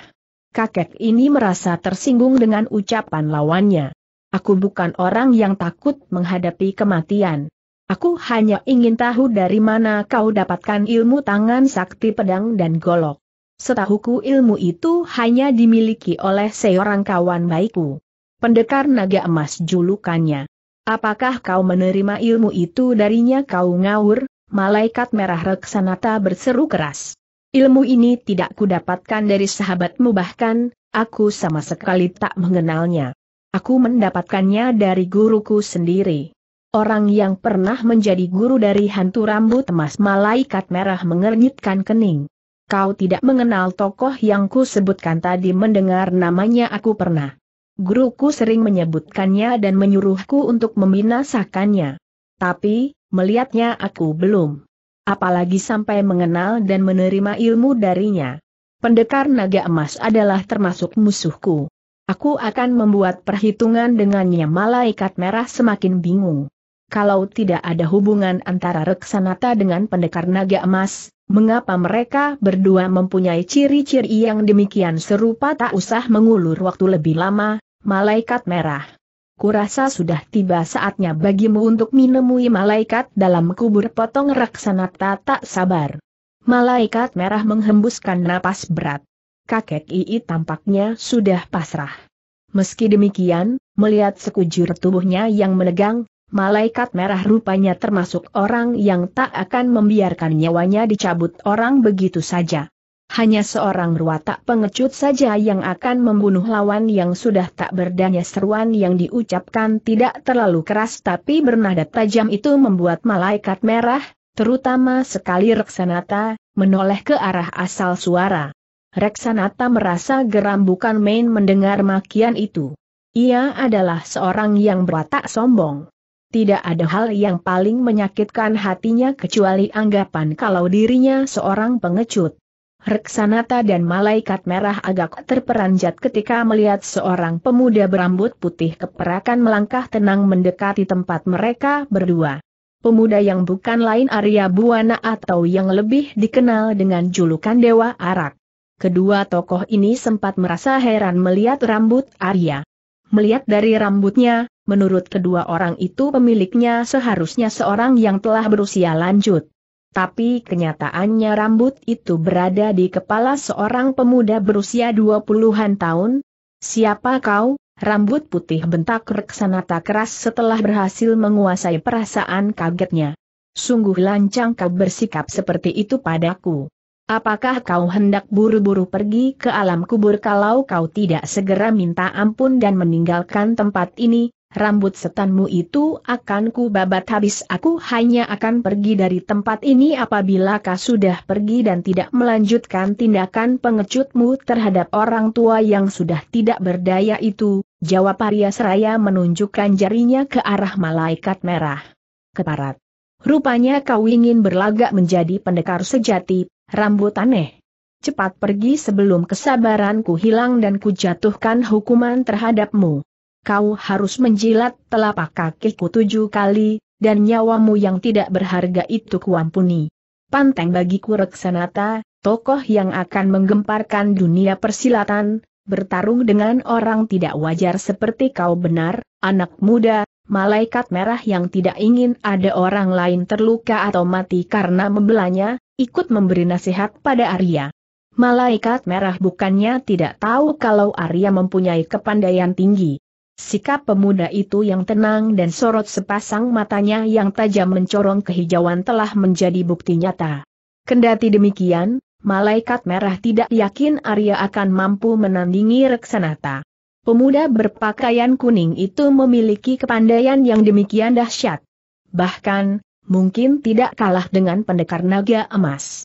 Padahal, pendekar itu merupakan jago nomor satu pada masanya. Arya sendiri hanya tersenyum dan menganggukkan kepala sedikit pada malaikat merah. Pemuda itu tahu kakek itu tidak bermaksud meremehkannya. Hanya khawatir kalau dia akan mengalami celaka di tangan Reksanata. Sayang sekali, Reksanata, ujar Arya tenang seraya menatap pemuda sombong itu tepat pada bola matanya. Aku tidak bisa memenuhi permintaanmu. Aku bukan seorang pengecut. Dan, Arya terpaksa menghentikan ucapannya. Reksanata telah menerjangnya lebih dulu. Teriakan keras menggelegar yang mampu menggetarkan sekitar tempat itu dikeluarkan Reksanata bersamaan dengan milesatnya tubuh pemuda itu ke arah Dewa Arak. Reksanata mengawali serangannya dengan sebuah tendangan kaki kanan ke pelipis. Angin menderu keras mengiringi meluncurnya serangan itu. Sungguh dahsyat serangan Reksanata. Batu karang yang paling keras pun akan hancur lebur jika terhantam. Maka, buru-buru Arya menarik kaki kanannya ke belakang seraya mencondongkan tubuh ke belakang. Serangan Reksanata pun kandas. Melihat serangan pertamanya mengalami kegagalan dengan cara yang demikian mudah, Reksanata menjadi penasaran bukan main. Rasa penasaran yang bercampur kegeraman. Serangan susulan yang tidak kalah dahsyatnya pun segera dilancarkan. Sesaat kemudian, kedua jago muda itu telah terlibat dalam pertarungan sengit. Reksanata benar-benar sudah kehilangan kesabaran. Serangan-serangan yang dilancarkannya selalu mengarah bagian-bagian yang mematikan. Pemuda itu agaknya mengerahkan seluruh kemampuan yang dimilikinya.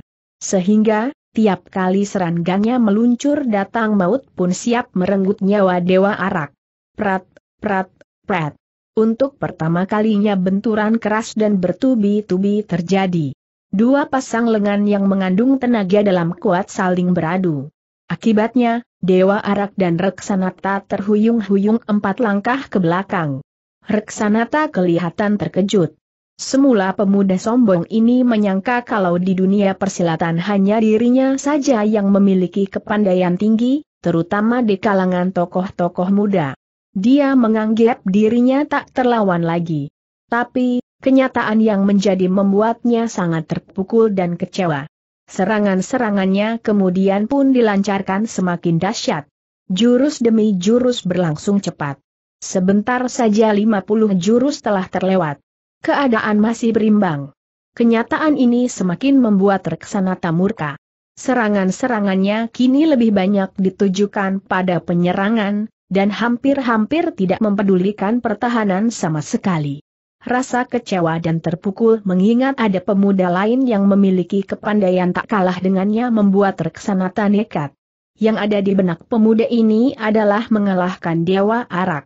Akibat apa pun tidak dipikirkannya sama sekali. Duk, plak, des. Tubuh Dewa Arak dan Reksanata sama-sama terjengkang ke belakang. Dewa Arak masih sanggup menjejak tanah dengan kedua kakinya kendati terhuyung-huyung. Reksanata mengalami nasib yang lebih buruk. Pemuda ini terbanting keras di tanah. Memang dia masih mampu bangkit, tapi dari sudut mulutnya mengalir cairan merah kental. Reksanata terluka dalam yang cukup parah karena tamparan Arya mengenai pangkal tangan kanannya. Sedangkan Arya sendiri hanya terkena sapuan pada kakinya. Pertarungan langsung terhenti. Reksanata menatap Dewa Arak dengan sinar merah penuh dendam. Kali ini aku mengaku kalah, rambut setan. Tapi ingat, kekalahan ini tidak untuk selamanya. Kelak aku akan datang untuk menebusnya kembali. Ingat baik-baik kataku ini usai berkata demikian, dengan dada dibusungkan dan dagu diangkat tinggi-tinggi Reksanata membalikkan tubuh.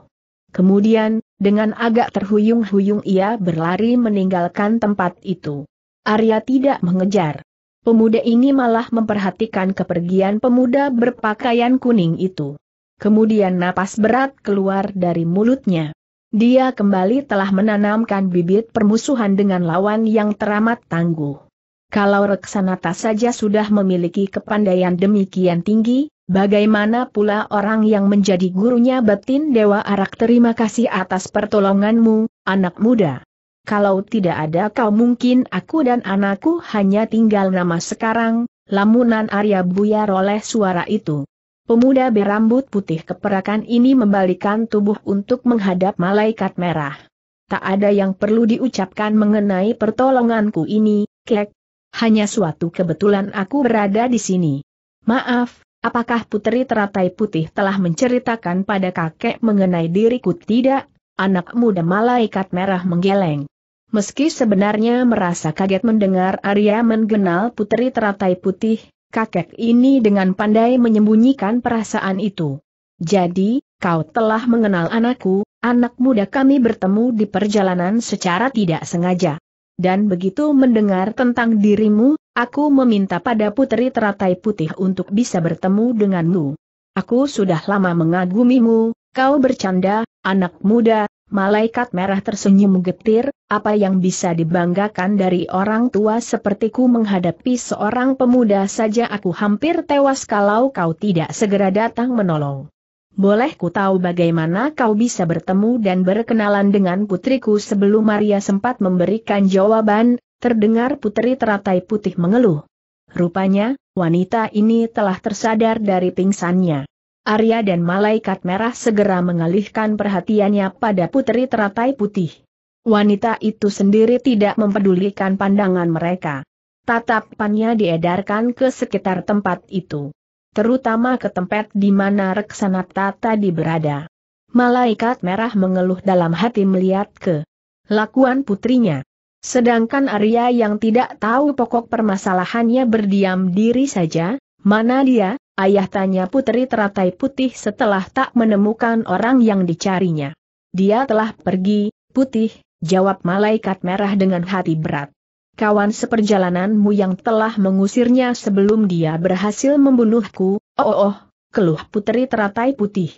Lalu, dia bangkit berdiri. Kelihatan sekali wanita ini merasa kecewa.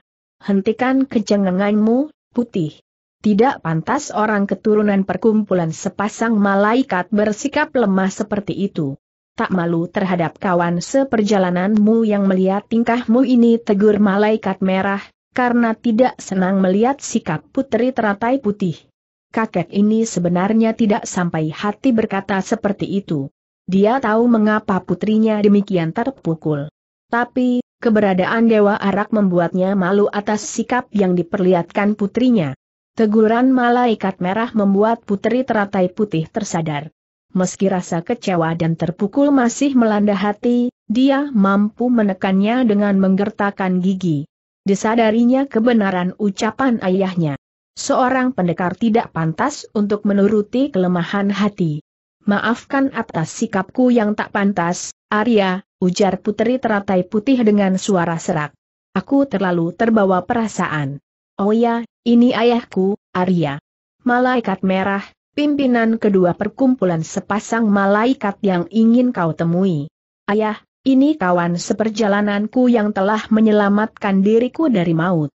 Namanya Arya, Arya dan malaikat merah saling menganggukkan kepala seraya tersenyum lebar. Putri teratai putih lalu menceritakan semua kejadian yang dialaminya sampai bertemu Dewa Arak. Malaikat merah mendengarkan dengan penuh perhatian. Beberapa kali kakek ini mengeluarkan seruan kaget. Sungguh tak kusangka kalau pengemis iblis tanpa tanding mempunyai seorang kakak seperguruan. Dewa tapak darah julukannya. Sebagai seorang kakak seperguruan, Dewa Tapak Darah pasti tak kalah lihai dengan pengemis iblis tanpa tanding. Sungguh berbahaya malaikat merah menggeleng-geleng dengan sikap prihatin.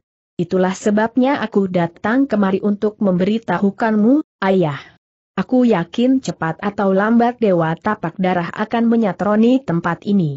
Meski letaknya tersembunyi, tapi dia pasti akan dapat menemukannya, ujar putri teratai putih. Malaikat merah mengangguk-anggukan kepala menanggapi ucapan putrinya. Sebenarnya aku sangat senang dengan kedatanganmu kemari, putih. Apalagi dengan membawa kawan perjalanan yang memiliki kepandaian demikian tinggi. Sayang, kau datang terlambat putri teratai putih mengernyitkan kening. Dia berpikir sejenak untuk mencerna kata-kata ayahnya.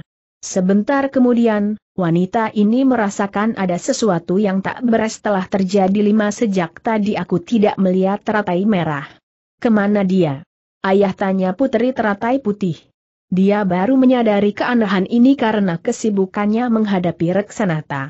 Biasanya, setiap kali putri teratai putih datang, putri teratai merah yang paling gembira menyambutnya. Gadis yang menjadi murid malaikat merah itu memang telah menganggap putri teratai putih sebagai ibunya sendiri. Itulah sebabnya ku katakan kalau kedatanganmu terlambat, putih. Teratai merah telah lebih dulu pergi sebelum kau tiba. Apakah kau tak menjumpainya di perjalanan malaikat merah balas mengajukan pertanyaan? Jadi, teratai merah telah pergi, ayah terasa jelas nada kekecewaan yang besar dalam suara putri teratai putih. Mengapa dia pergi dan, hendak ke mana aku tidak menjumpainya di perjalanan, malaikat merah menghela napas berat berarti teratai merah mengambil jalan memutar, putih. Sayang sekali. Padahal, dia ingin menjumpaimu di istana. Dia ingin sekali-kali memberi kejutan. Karena sebelum kau datang dia berangkat lebih dulu. Katanya, sekalian melihat-lihat pemandangan di jalan, oh oh putri teratai putih mengeluh kecewa. Wajahnya ditekapkan dengan kedua tangan. Kepalanya pun ditundukkan dalam-dalam. Kalau ku tahu akan begini, pasti jauh-jauh hari aku telah pergi kemari ayah. Aku khawatir dia mendapat bahaya di jalan. Dunia persilatan amat keras teratai merah terlalu polos. Aku khawatir terjadi apa-apa terhadapnya, jangan khawatir, putih, hibur malaikat merah. Sebelum teratai merah pergi, telah kuberikan nasihat padanya. Bahkan kuberitahukan padanya untuk bersikap hati-hati meski menghadapi orang yang kelihatannya baik, aku mengerti. Ayah. Tapi, tipu daya orang persilatan terlalu banyak, aku bisa memaklumi kekhawatiranmu, timpal malaikat merah bijaksana, karena mengetahui alasan yang menyebabkan putri teratai putih demikian khawatir. Tapi cobalah kau bertindak sedikit bijaksana. Bukankah kau dulu pun begitu betapapun keras kau buang keinginan hatimu tetap tidak bisa ku bendung. Kenyataannya, kau selamat sampai hari ini. Lagi pula mana mungkin teratai merah akan mendapat pengalaman kalau terus-menerus tinggal di tempat ini putri teratai putih pun terdiam. Disadari ada kebenaran yang tak bisa dibantah dalam penjelasan ayahnya. Kendati demikian, perasaan khawatir yang melanda tetap tak mau sirna. Aku masih belum bisa mengerti dengan maksudmu, putih, kali ini malaikat merah yang mengajukan keheranan. Mengapa kau mesti menyuruh Arya menunggu dan tidak langsung menemui ayah di sini? kalau saja Arya terus menuruti permintaanmu, mungkin kau dan ayah telah tewas di tangan Reksanata, aku khawatir ayah akan marah. Biar bagaimanapun Arya orang luar. Padahal ayah tidak suka jika tempat tinggal ayah diketahui orang. Karena itu, kuputuskan untuk menyuruh Arya menunggu sedangkan aku memberitahukan hal ini pada ayah. Bukankah pengawal-pengawalku pun demikian jika aku tengah menemui ayah jawab Putri Teratai Putih memberikan alasan. Permintaan Putri Teratai Putih ini yang menyebabkan Arya datang lebih lambat. Arya menunggu sampai Putri Teratai Putih kembali dan memberikan jawaban. Tapi ketika pemuda ini mendengar bunyi-bunyi gaduh, dengan perasaan tak enak diputuskannya untuk meninggalkan tempat persembunyian di balik dinding batu yang menjulang tinggi, 50 tombak dari tempat tinggal malaikat merah. Tindakan yang diambil Arya ternyata tepat. Kedatangannya menyebabkan bahaya maut yang mengancam malaikat merah dan juga putri teratai putih berhasil dihindarkan. Itu memang benar, putih. Tapi Arya kan lain. Dia seorang penolongmu jadi merupakan tamu kehormatan. Mana mungkin aku tidak menyukainya bantah malaikat merah membela diri. Putri teratai putih ingin mengajukan bantahan lagi. Wanita yang ternyata berhati keras ini tidak mau dipersalahkan. Tapi sebelum hal itu dilakukannya, Arya telah buru-buru menengahi. Rupanya ia merasa bertanggung jawab atas terjadinya perdebatan antara ayah dan anak itu maafkan kalau aku bertindak lancang, kek, putri. Tapi menurut hematku sebaiknya masalah ini diselesaikan saja. Bagiku hal ini tidak merupakan masalah. Tindakan yang diambil putri tidak salah, dan peraturan kakek juga benar. Aku bisa memakluminya, syukurlah kalau kau berpikir demikian, Arya timpal malaikat merah dengan hati lega. Aku memang khawatir kau merasa dicurigai. Sekarang dengan adanya jawabanmu seperti itu, aku merasa lega.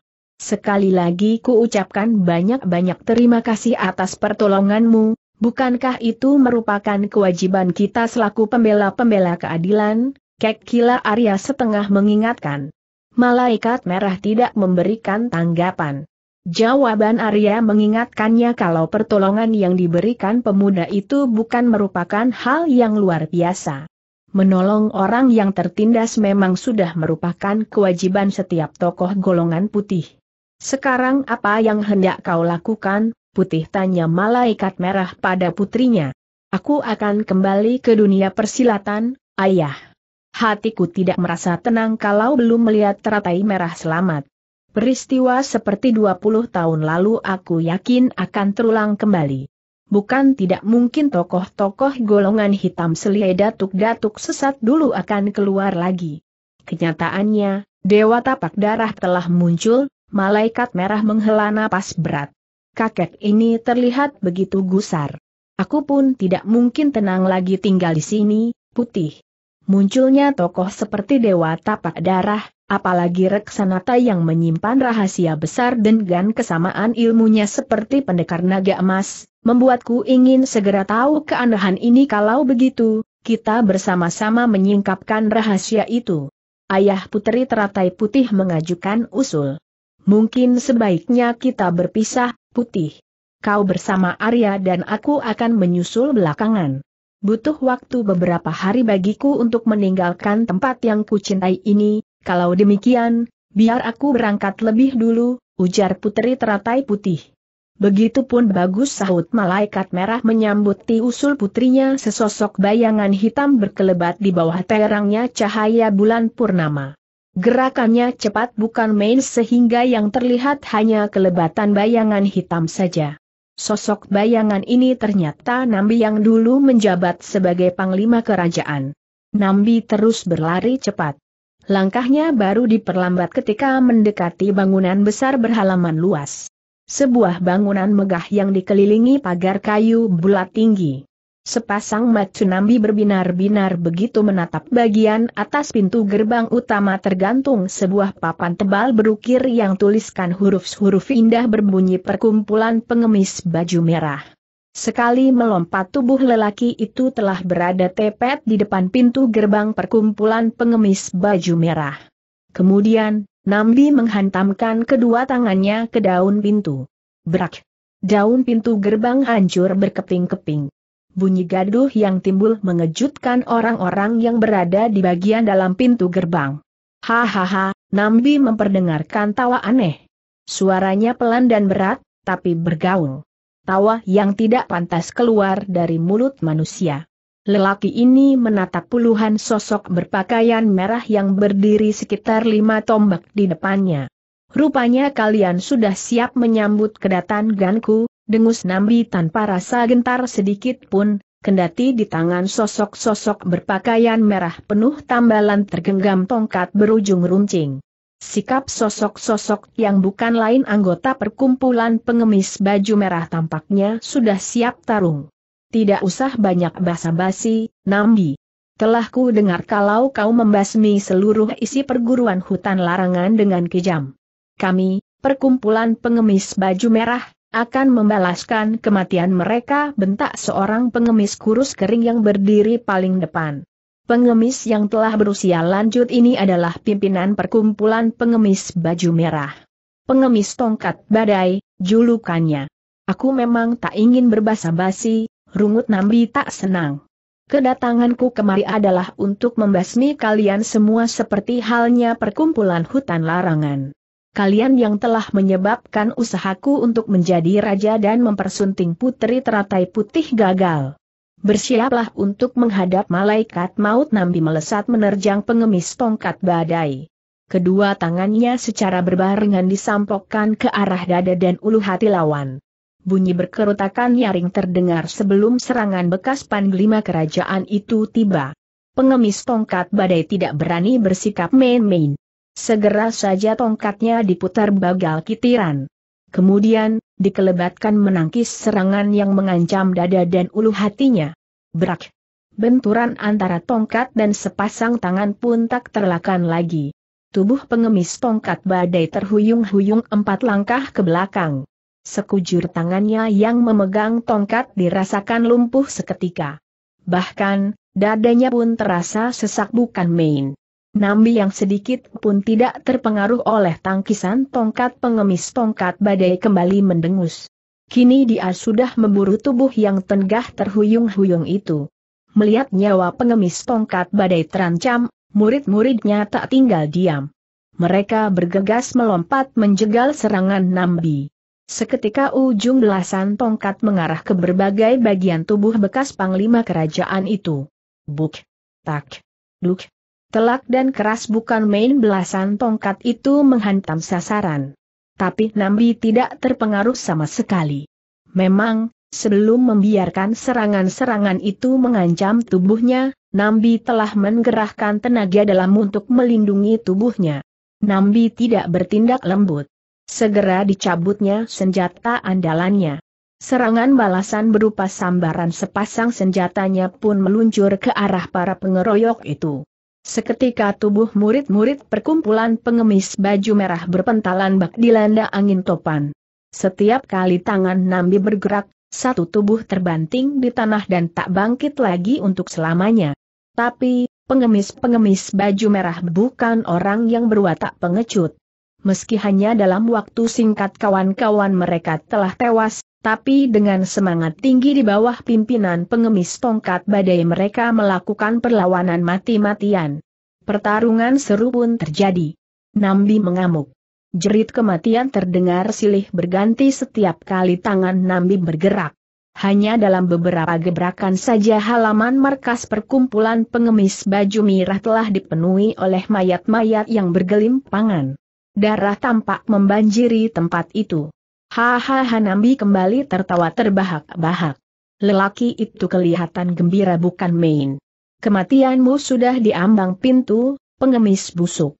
Setelah kau, baru giliran pendekar naga emas. Pendekar yang terkenal itu akan tewas di tanganku. Dan aku, Nambi, akan menjadi tokoh tak terkalahkan dunia persilatan. Hahaha pengemis tongkat badai hanya dapat menggertakkan gigi untuk mengusir kegeraman hatinya. Sekarang dia tinggal sendiri. Disadarinya tak akan mungkin dapat mengalahkan Nambi. Tadi saja sewaktu anak buahnya masih ada tokoh itu tak bisa dikalahkannya, apalagi sekarang hampir berbarengan dengan usainya gelak tawa Nambi, terdengar suara tawa nyaring yang menggetarkan sekitar tempat itu.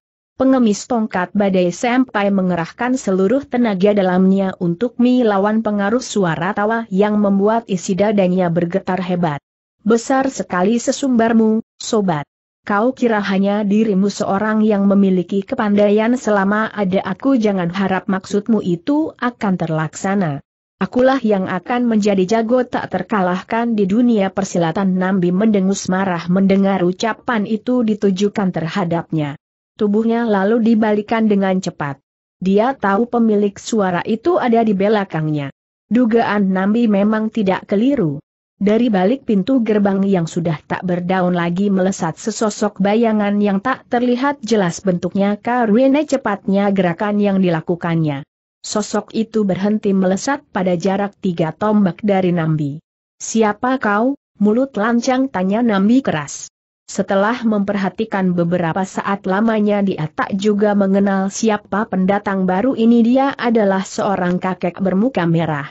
Sepasang matanya hampir tak terlihat karena hanya berupa garis memanjang.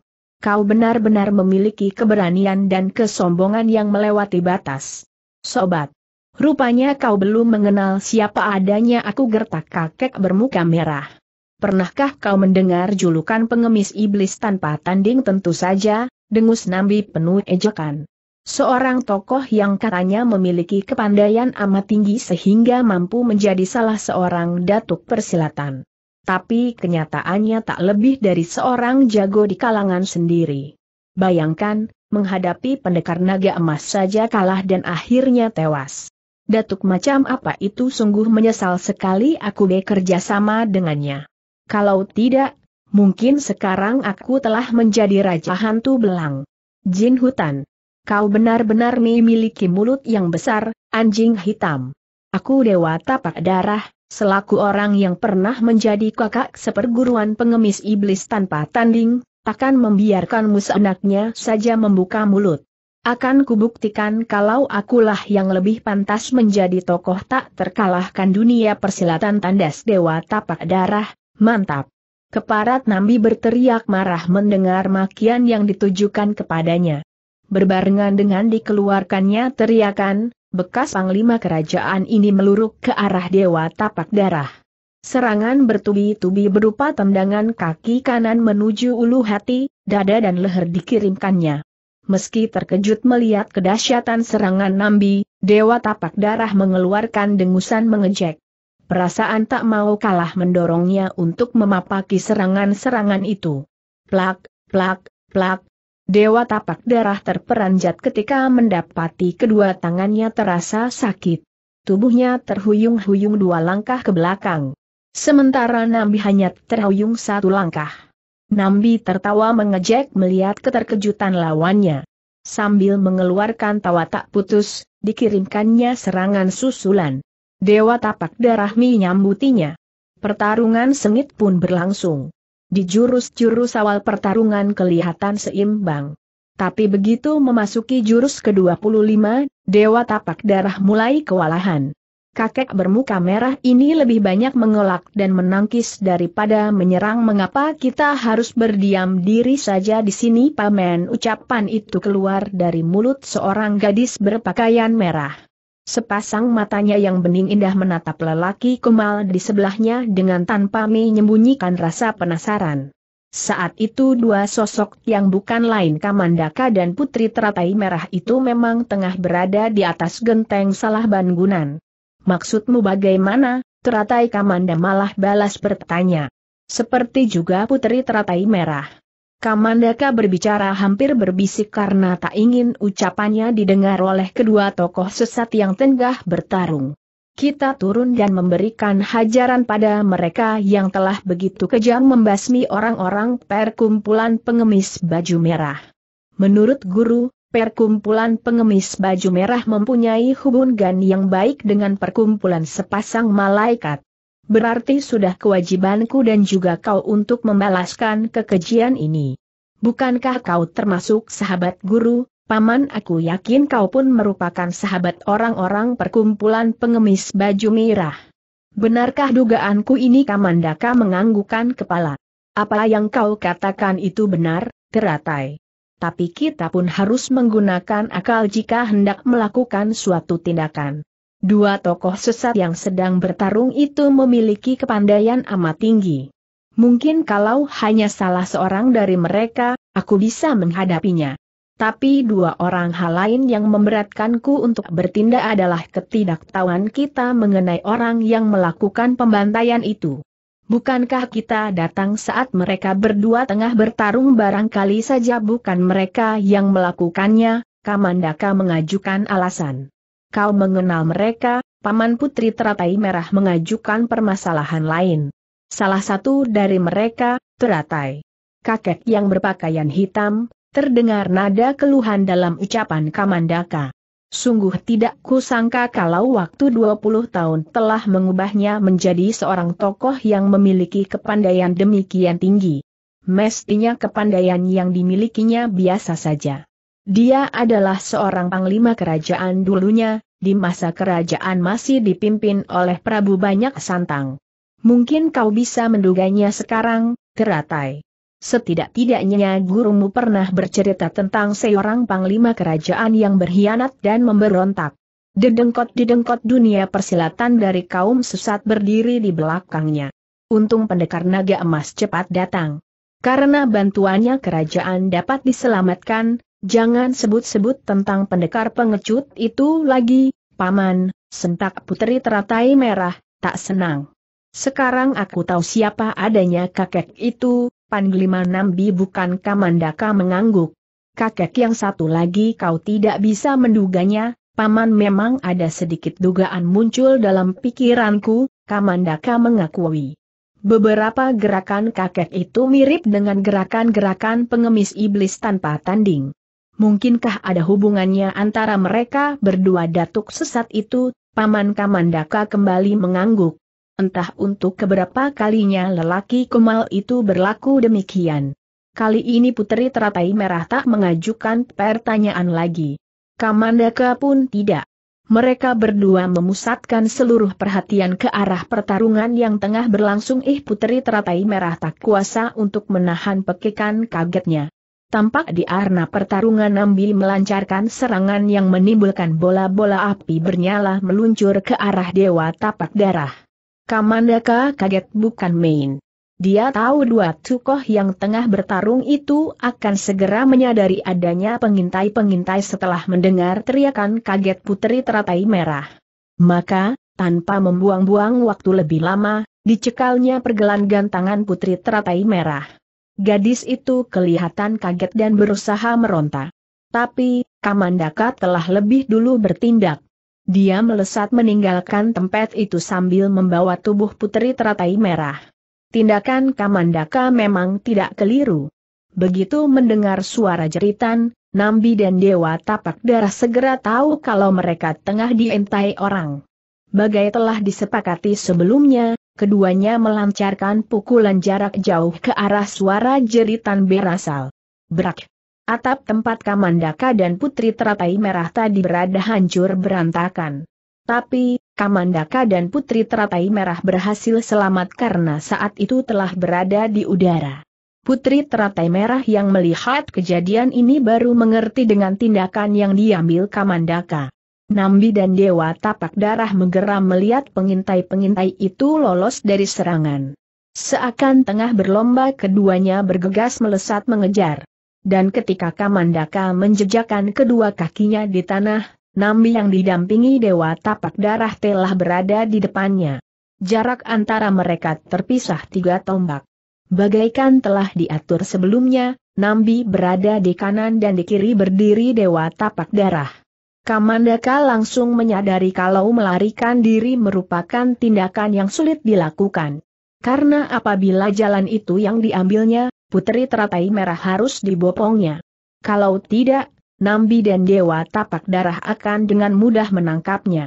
Padahal, jika Putri Teratai Merah dipanggulnya akan mengurangi kecepatan larinya. Di pihak lain Nambi dan Dewa Tapak Darah memiliki kepandaian luar biasa. Bukan tak mungkin mereka akan mampu menyusulnya. Menyingkirlah, teratai, ujar Kamandaka seraya melangkah maju, sehingga putri teratai merah yang semula berada di sisinya jadi berada di belakang. Putri teratai merah tak berani membantah sedikit pun. Gadis ini tahu kalau dua kakek yang berada depannya memiliki kepandaian jauh di atasnya. Tanpa bicara apa pun dilangkahkan kakinya untuk menyingkir dari situ. Teratai Nambi mengulang nama itu dengan mata membelalak lebar. Lelaki berpakaian hitam ini memang sudah terkejut ketika melihat wajah dan perawakan tubuh putri teratai merah. Semula dikiranya sosok itu adalah putri teratai putih. Tapi, Dugaan ini langsung pupus ketika melihat pakaiannya yang merah. Sekarang keterkejutan Nambi semakin bertambah saat mendengar sapaan yang diberikan Kamandaka.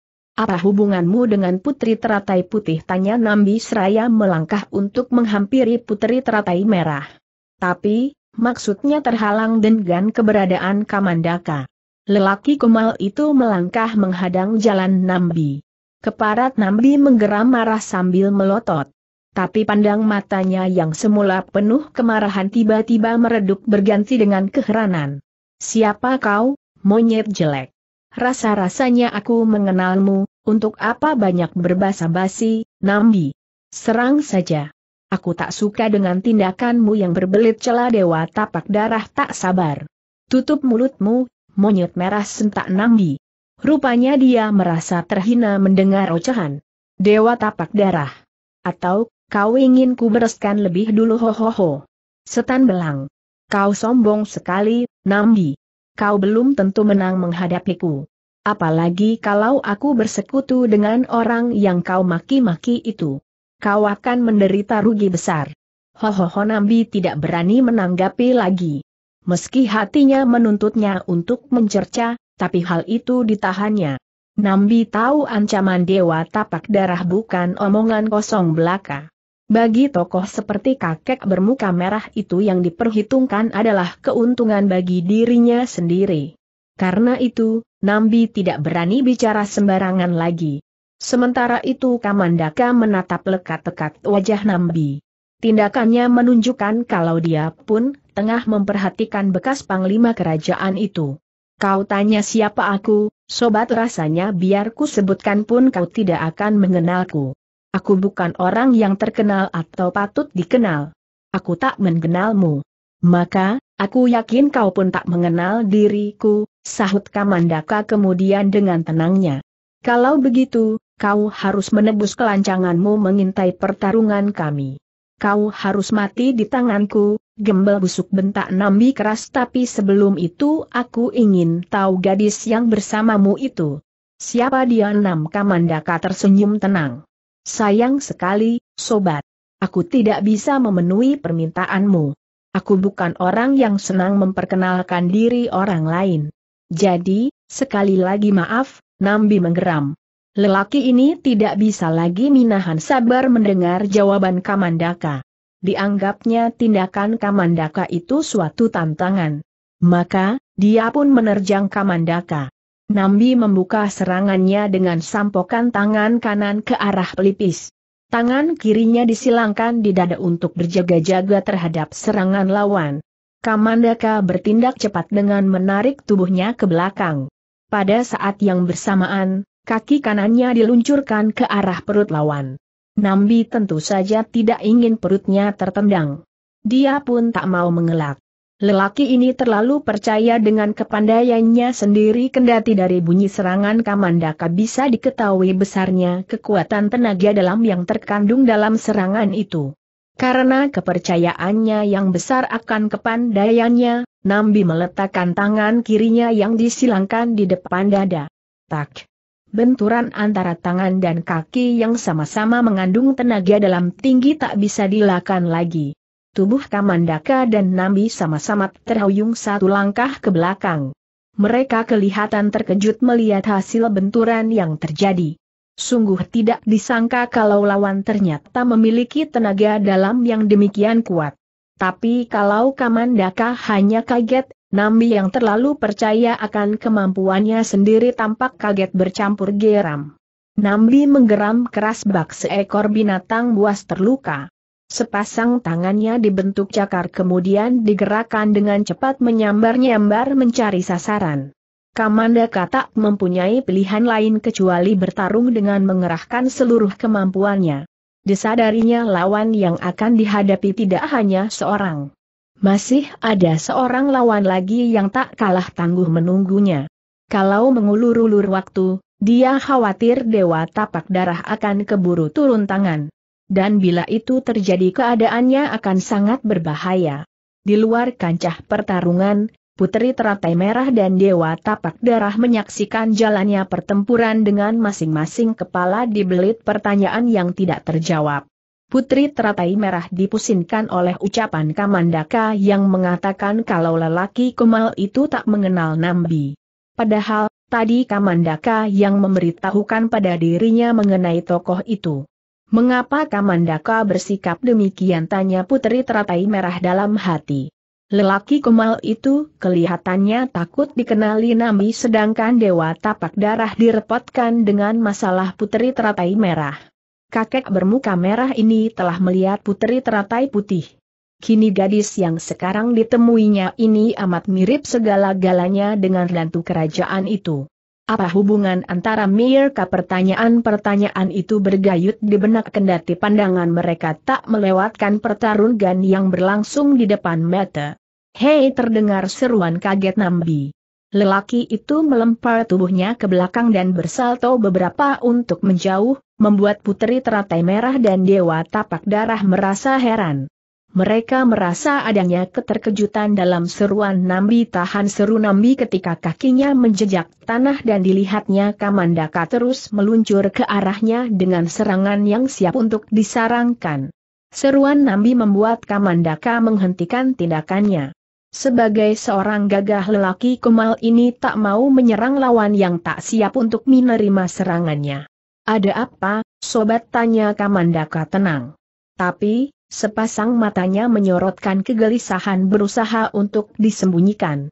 Apakah kau berubah pikiran dan membiarkan kami pergi dari sini dengan aman? Nambi tertawa mengejek. Kau tidak bisa mengakaliku lagi, pendekar naga emas. Kau boleh menyembunyikan wajah dan ciri-cirimu dengan menyamar sebagai gembel. Tapi aku bukan anak kecil yang bisa kau kelabui, meski samaranmu hampir-hampir saja membuatku terkecoh kau tak bisa menyembunyikan ilmu-ilmu khasmu. Kalau kau bukan seorang pengecut hina, pasti kau akan membenarkan dugaanku. Ayo, kalau kau ingin menjadi seorang pengecut hina, katakan kau bukan pendekar naga emas Kamandaka terdiam. Dia tidak memberikan jawaban kecuali menundukkan kepala. Sesaat kemudian dia mengangkatnya lagi dan menghela napas berat. Putri teratai merah dan dewa tapak darah terkejut bukan main mendengar ucapan Nambi. Metu kedua orang ini tertuju pada Kamandaka. Telinganya dipasang setajam mungkin. Napas mereka bahkan hampir ditahan karena khawatir jawaban yang diberikan Kamandaka tak terdengar. Kau keliru, Nambi Putri teratai merah akhirnya yang tak tahan karena Kamandaka tidak juga memberikan jawaban. Dia bukan pendekar pengecut itu. Malahan, dia dan aku hendak mencari pendekar pengecut itu untuk membuat perhitungan benarkah demikian, Nona cantik ejek Nambi sambil tersenyum sinis. Sekarang kita tunggu saja jawaban dari orang yang ingin membantumu mencari pendekar pengecut itu, ayo, Paman Kamandaka. Katakan kalau kau bukan pendekar naga emas si pengecut itu seru putri teratai merah tak sabar. Suara gadis berpakaian merah ini terdengar bergetar karena menahan guncangan perasaan. Putri teratai merah merasa tegang menanti jawaban Kamandaka. Malah, karena tak sabarnya gadis ini melangkah menghampiri Kamandaka. Sementara tawan Nambimi ledak mendengar ucapan putri teratai merah. Kau benar-benar dibohongi habis-habisan, Nona Dungu. Kau tahu nama asli pendekar pengecut yang berjuluk pendekar naga emas itu aku yakin kau tidak tahu. Karena itu akan kuberitahukan padamu. Dengan baik-baik, nona cantik yang dungu, cukup, Nambi potong Kamandaka dengan suara keras dan sikap garang. Kuakui kalau aku adalah pendekar naga emas kau dengar itu, Nona yang goblok ejek Nambi. Kamandaka adalah nama asli dari pendekar pengecut itu. Kau ditipunya mentah-mentah. Hahaha putri teratai merah terdiam bagai patung. Gadis ini terpukul bukan main mengetahui kenyataan itu. Apalagi karena hal itu dia menjadi korban ejekan Nambi. Kamandaka alias pendekar naga emas mengetahui perasaan yang berkecamuk di hati putri teratai merah. Dia merasa menyesal sekali. Lelaki kemal ini merasa bersalah karena telah menyimpan rahasia. Tapi, apa boleh buat Kamandaka mempunyai alasan yang amat kuat untuk itu? Maafkan aku, teratai. Bukan maksudku untuk menipumu. Aku, diam kau potong putri teratai merah dengan penuh kemarahan. Gadis ini menatap pendekar naga emas dan Nambi berganti-ganti, sebelum akhirnya berhenti pada Kamandaka. Aku benci kau. Kau tidak hanya pengecut, tapi juga penipu. Aku benci kau. Benci teratai panggil Kamandaka ketika melihat putri teratai merah membalikan tubuh dan berlari meninggalkan tempat itu. Tapi, Putri Teratai Merah tidak mempedulikan panggilan Kamandaka. Dia terus berlari cepat tanpa menoleh lagi. Kamandaka hanya bisa menghela napas berat. Sedangkan Nambi tertawa bergelak-gelak melihat hasil ucapannya. Kamandaka mengalihkan perhatiannya dari Putri Teratai Merah ketika tubuh gadis itu lenyap di telan kegelapan malam. Pandangannya kini beralih pada Nambi. Kau boleh tertawa sepuasmu, Nambi. Sebentar lagi nyawamu akan kukirim ke neraka. Orang seperti kau tak layak dibiarkan hidup terus. Dunia akan menjadi kacau balau Nambi menghentikan tawanya. Dia mendengus keras. Pandangan matanya seakan hendak menelan pendekar naga emas bulat-bulat. Kau keliru, pendekar pengecut. Kaulah yang akan kukirim ke neraka. Dirimulah yang menjadi penyebab berantakannya semua cita-citaku.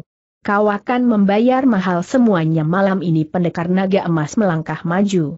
Nambi pun demikian. Mati mereka saling memperhatikan calon lawannya. Pertarungan yang sempat terhenti tampaknya beberapa saat lagi akan pecah kembali. Demi segala roh penasaran. Kau jangan serakah Nambi. Pendekar naga emas bukan hanya mempunyai hutang padamu. Dia pun harus membayar atas kekejian yang dilakukannya terhadap adik seperguruanku seruan yang diikuti dengan melangkah majunya Dewa Tapak Darah membuat pendekar naga emas dan Nambi yang telah siap untuk saling gebrak menunda maksud mereka. Siapa kau, kakek aneh dan, siapa pula adik seperguruanmu yang kau katakan tewas di tanganku kutanya pendekar naga emas tanpa mengalihkan perhatian dari sosok Nambi. Pendekar naga emas tahu pasti betapa liciknya bekas panglima kerajaan itu. Maka, dia tak mau meninggalkan kewaspadaan sedikit pun. Karena bagi Nambi care apa pun akan dipergunakan asalkan sakit hatinya terbalaskan. Membokong pun tak menjadi persoalan baginya. Buka telingamu lebar-lebar, naga emas teriak Dewa Tapak Darah. Aku Dewa Tapak Darah dan adik seperguruanku yang kau bunuh secara kejam itu berjuluk pengemis iblis tanpa tanding adik seperguruannya bejat, kakak seperguruannya pun pasti bukan orang baik-baik. Kalian berdua memang sangat layak dikirim ke akhirat untuk menjadi teman setan-setan penghuni neraka sahut pendekar naga emas dengan suara lantang. Kaulah yang akan menjadi penghuni neraka, keparat bentak dewa tapak darah yang sudah tidak bisa mengekang kemarahannya kakek bermuka merah ini tanpa tanggung-tanggung lagi mengeluarkan ilmu andalan. Kedua tangannya jadi merah laksana besi dibakar. Hawa panas pun menyebar dari kedua tangannya. Pendekar naga emas bergegas melompat ke belakang untuk mengelakkan serangan itu. Nambi tidak tinggal diam. Lelaki berpakaian hitam ini pun ikut melancarkan serangan. Pertarungan satu melawan dua pun langsung pecah. Pendekar naga emas alias Kamandaka mengeluarkan ilmu tangan pedang dan golok yang menjadi ciri khasnya. Sebuah ilmu tangan kosong yang amat empuh. Tapi, Nambi dan juga Dewa Tapak Darah memiliki ilmu tangan kosong yang tak kalah ampuh pula. Setelah pertarungan berlangsung 15 jurus, pendekar naga emas harus mengakui keunggulan lawan-lawannya. Pengeroyokan Dewa Tapak Darah dan Nambi terlalu berat untuknya. Meskipun demikian, Kamandaka yakin andai kata kedua musuhnya itu menghadapinya satu persatu, dia akan dapat mengalahkan mereka. Kendati memang tidak dengan mudah hal itu dilakukan. Semakin lama keadaan pendekar naga emas semakin mengkhawatirkan. Serangan-serangannya sudah tidak terlihat lagi. Pendekar ini sekarang lebih sering mengelak. Dia tidak sempat mengirimkan serangan balasan karena terlalu bertubi-tubinya serangan dari kedua lawannya. Pendekar naga emas bukan orang bodoh. Dia tahu kalau keadaan seperti ini berlangsung tanpa ada perubahan, dia akan roboh di tangan keduanya. Itu berarti nyawanya akan melayang ke alam baka. Padahal, Kamandaka belum ingin tewas. Lelaki ini masih mempunyai ganjalan di hatinya karena permasalahannya dengan putri teratai merah.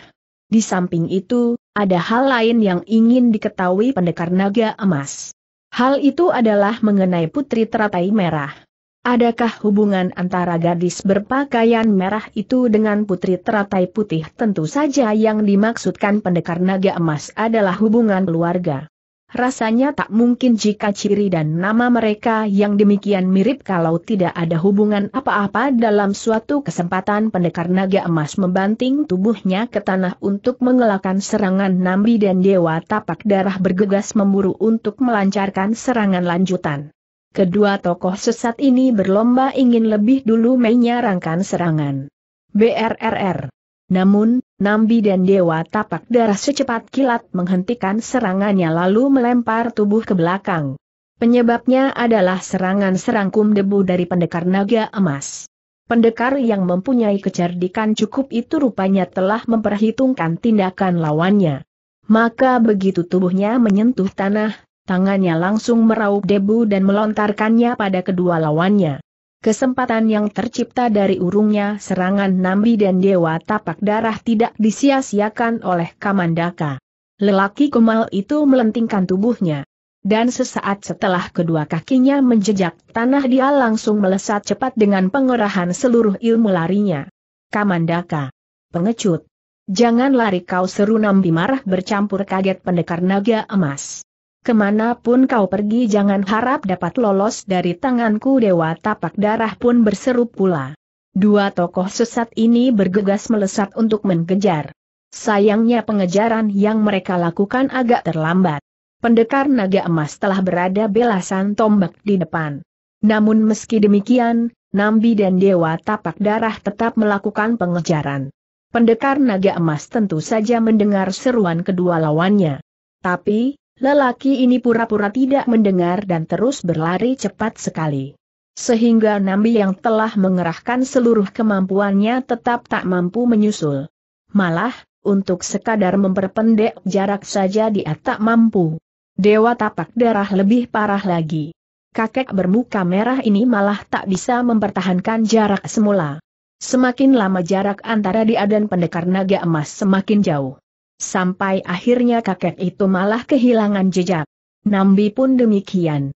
Meski jaraknya tak berubah tapi kegelapan malam dan dengan adanya semak-semak serta pepohonan membuatnya mengalami kesulitan untuk dapat terus melihat buruannya. Apa yang dikhawatirkan lelaki ini akhirnya menjadi kenyataan. Ketika melewati kerimbunan semak-semak, pendekar naga emas lenyap tak berbekas.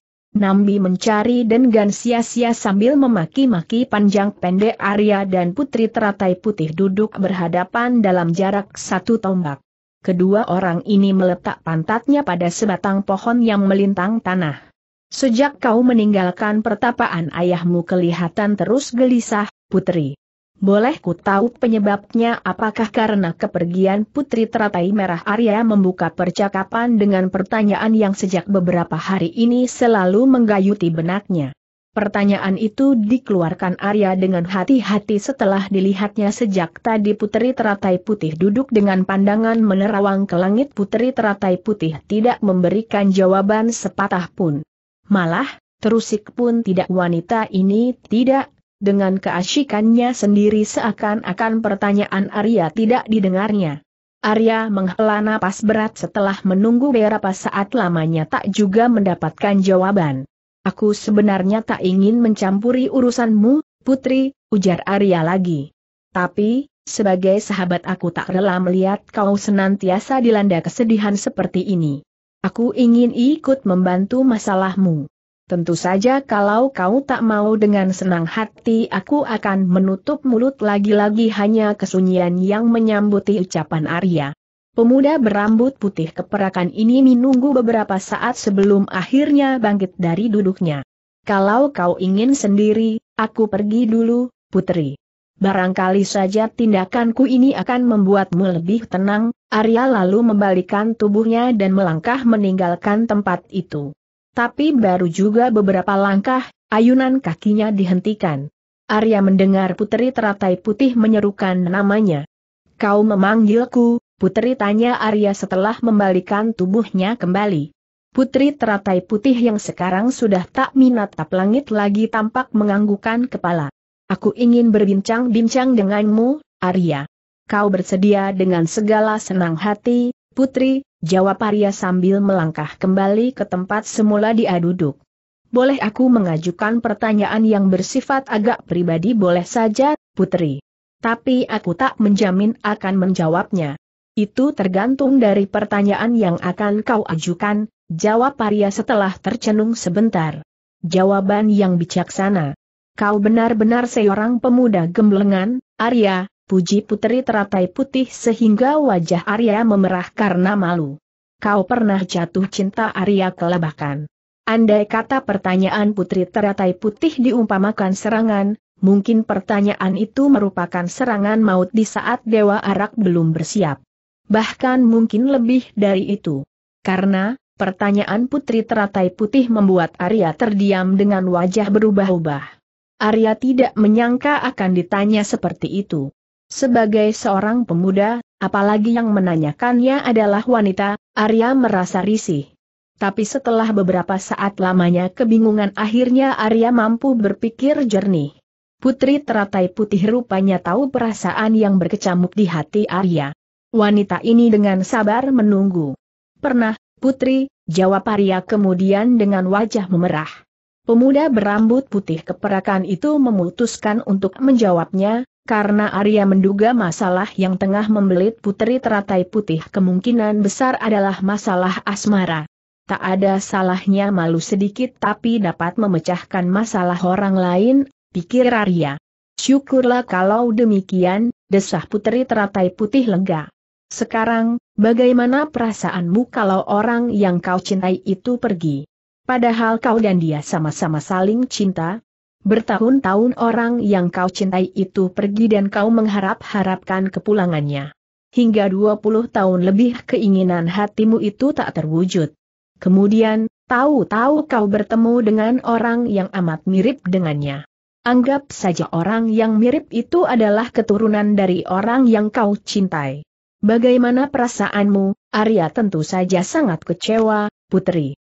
Mungkin bercampur dengan kesal karena merasa ditipu, jawab Arya setelah berpikir beberapa saat nah, perasaan itulah yang tengah melandaku, Arya. Perasaan dikhianati. Padahal, dengar baik-baik, Arya. Hanya kau seoranglah yang akan mengetahui rahasia ini. Aku tak tahan menyimpannya terus-menerus. Kau telah kuanggap sebagai adikku sendiri. Maka, pada mulah ku beritahukan, ucap putri teratai putih dengan suara bergetar karena guncangan perasaan. Terima kasih atas kepercayaan yang kau berikan padaku, putri, aku dan kekasihku telah mempunyai seorang anak perempuan. Tapi sayangnya kekasihku tak mengetahui hal ini. Bahkan mungkin tak akan pernah tahu. Menyedihkan sekali, bukan suara putri teratai putih tersendat menahan tangis. Sepasang mata wanita ini tampak berkaca-kaca. Arya merasa terharu sekali melihatnya. Pemuda ini bisa merasakan kesedihan yang melanda putri teratai putih. Mengapa itu bisa terjadi, putri maksudku, kenapa kekasihmu tak tahu kalau dia telah meninggalkan seorang anak di dalam rahimu sayang sekali, Arya? Aku tidak bisa menjawab pertanyaan itu. Maafkan aku, tidak apa-apa, putri, Jawab Arya bijaksana. Anakmu itu pasti putri teratai merah, bukan tebak Arya kemudian. Putri teratai putih hanya bisa mengangguk. Kesedihan yang melandanya terlalu besar. Kedua bahunya tampak sampai terguncang-guncang karena isak tangis yang ditahan. Agaknya wanita ini benar-benar di landa kekecewaan yang sangat tuju kau tahu, Arya, lanjut putri teratai putih setelah bisa menguasai perasaannya. Kelahiran putri teratai merah membuat penyesalan yang besar di hatiku, mengapa demikian, putri ayah angkatku, Prabu banyak santang, sakit-sakitan dan akhirnya meninggal karena batinnya terguncang melihat aku melahirkan anak tanpa suami.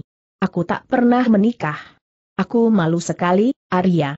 Sehingga meski tak ada orang lain yang tahu kecuali ayahku dan ayah angkatku, aku dira penyesalan yang besar, Arya terdiam. Pemuda ini menunggu cerita putri teratai putih selanjutnya.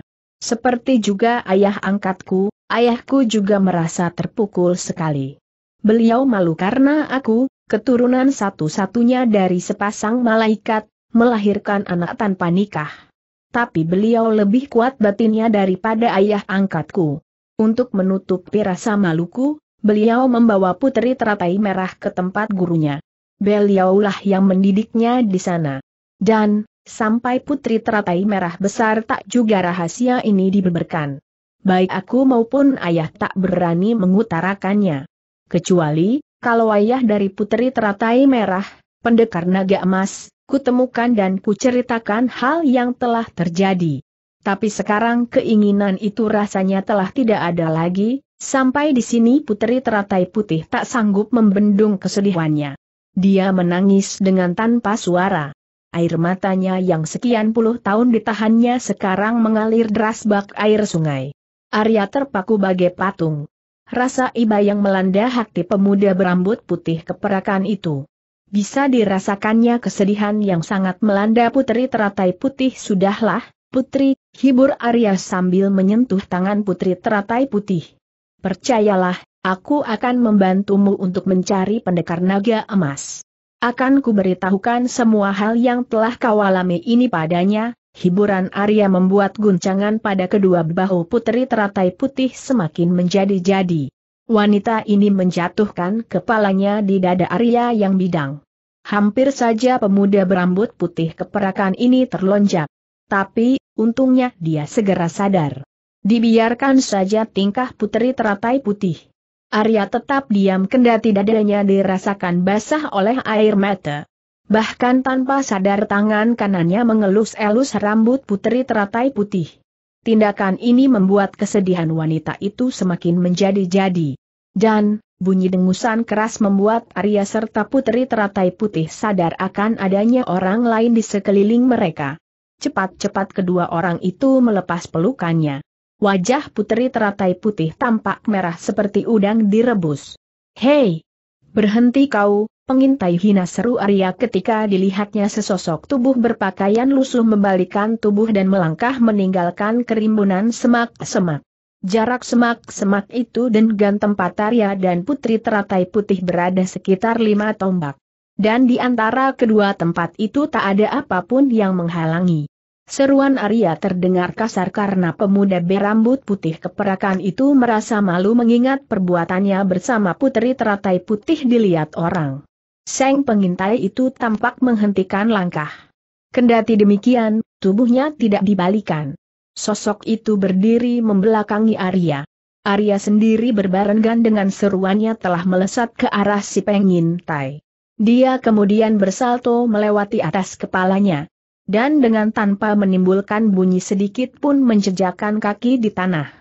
Padahal, tanah tempat pemuda berambut putih keperakan itu menjejakkan kaki dipenuhi dengan semak-semak kering. Sungguh tercela sekali perbuatanmu sobat, menggintai orang yang tengah membicarakan masalah, tegur Arya Seraya mengamati si pengintai yang berjarak dua tombak di depannya. Seng pengintai, Seorang lelaki berusia 55 tahun yang berpakaian lusuh, berkumis, jenggot, dan cambang tak teratur terlihat tersenyum mengejek. Membicarakan masalah apakah aku tak salah dengar, sobat kau ini tengah membicarakan masalah atau berbuat mesum sahutnya dengan nada sinis.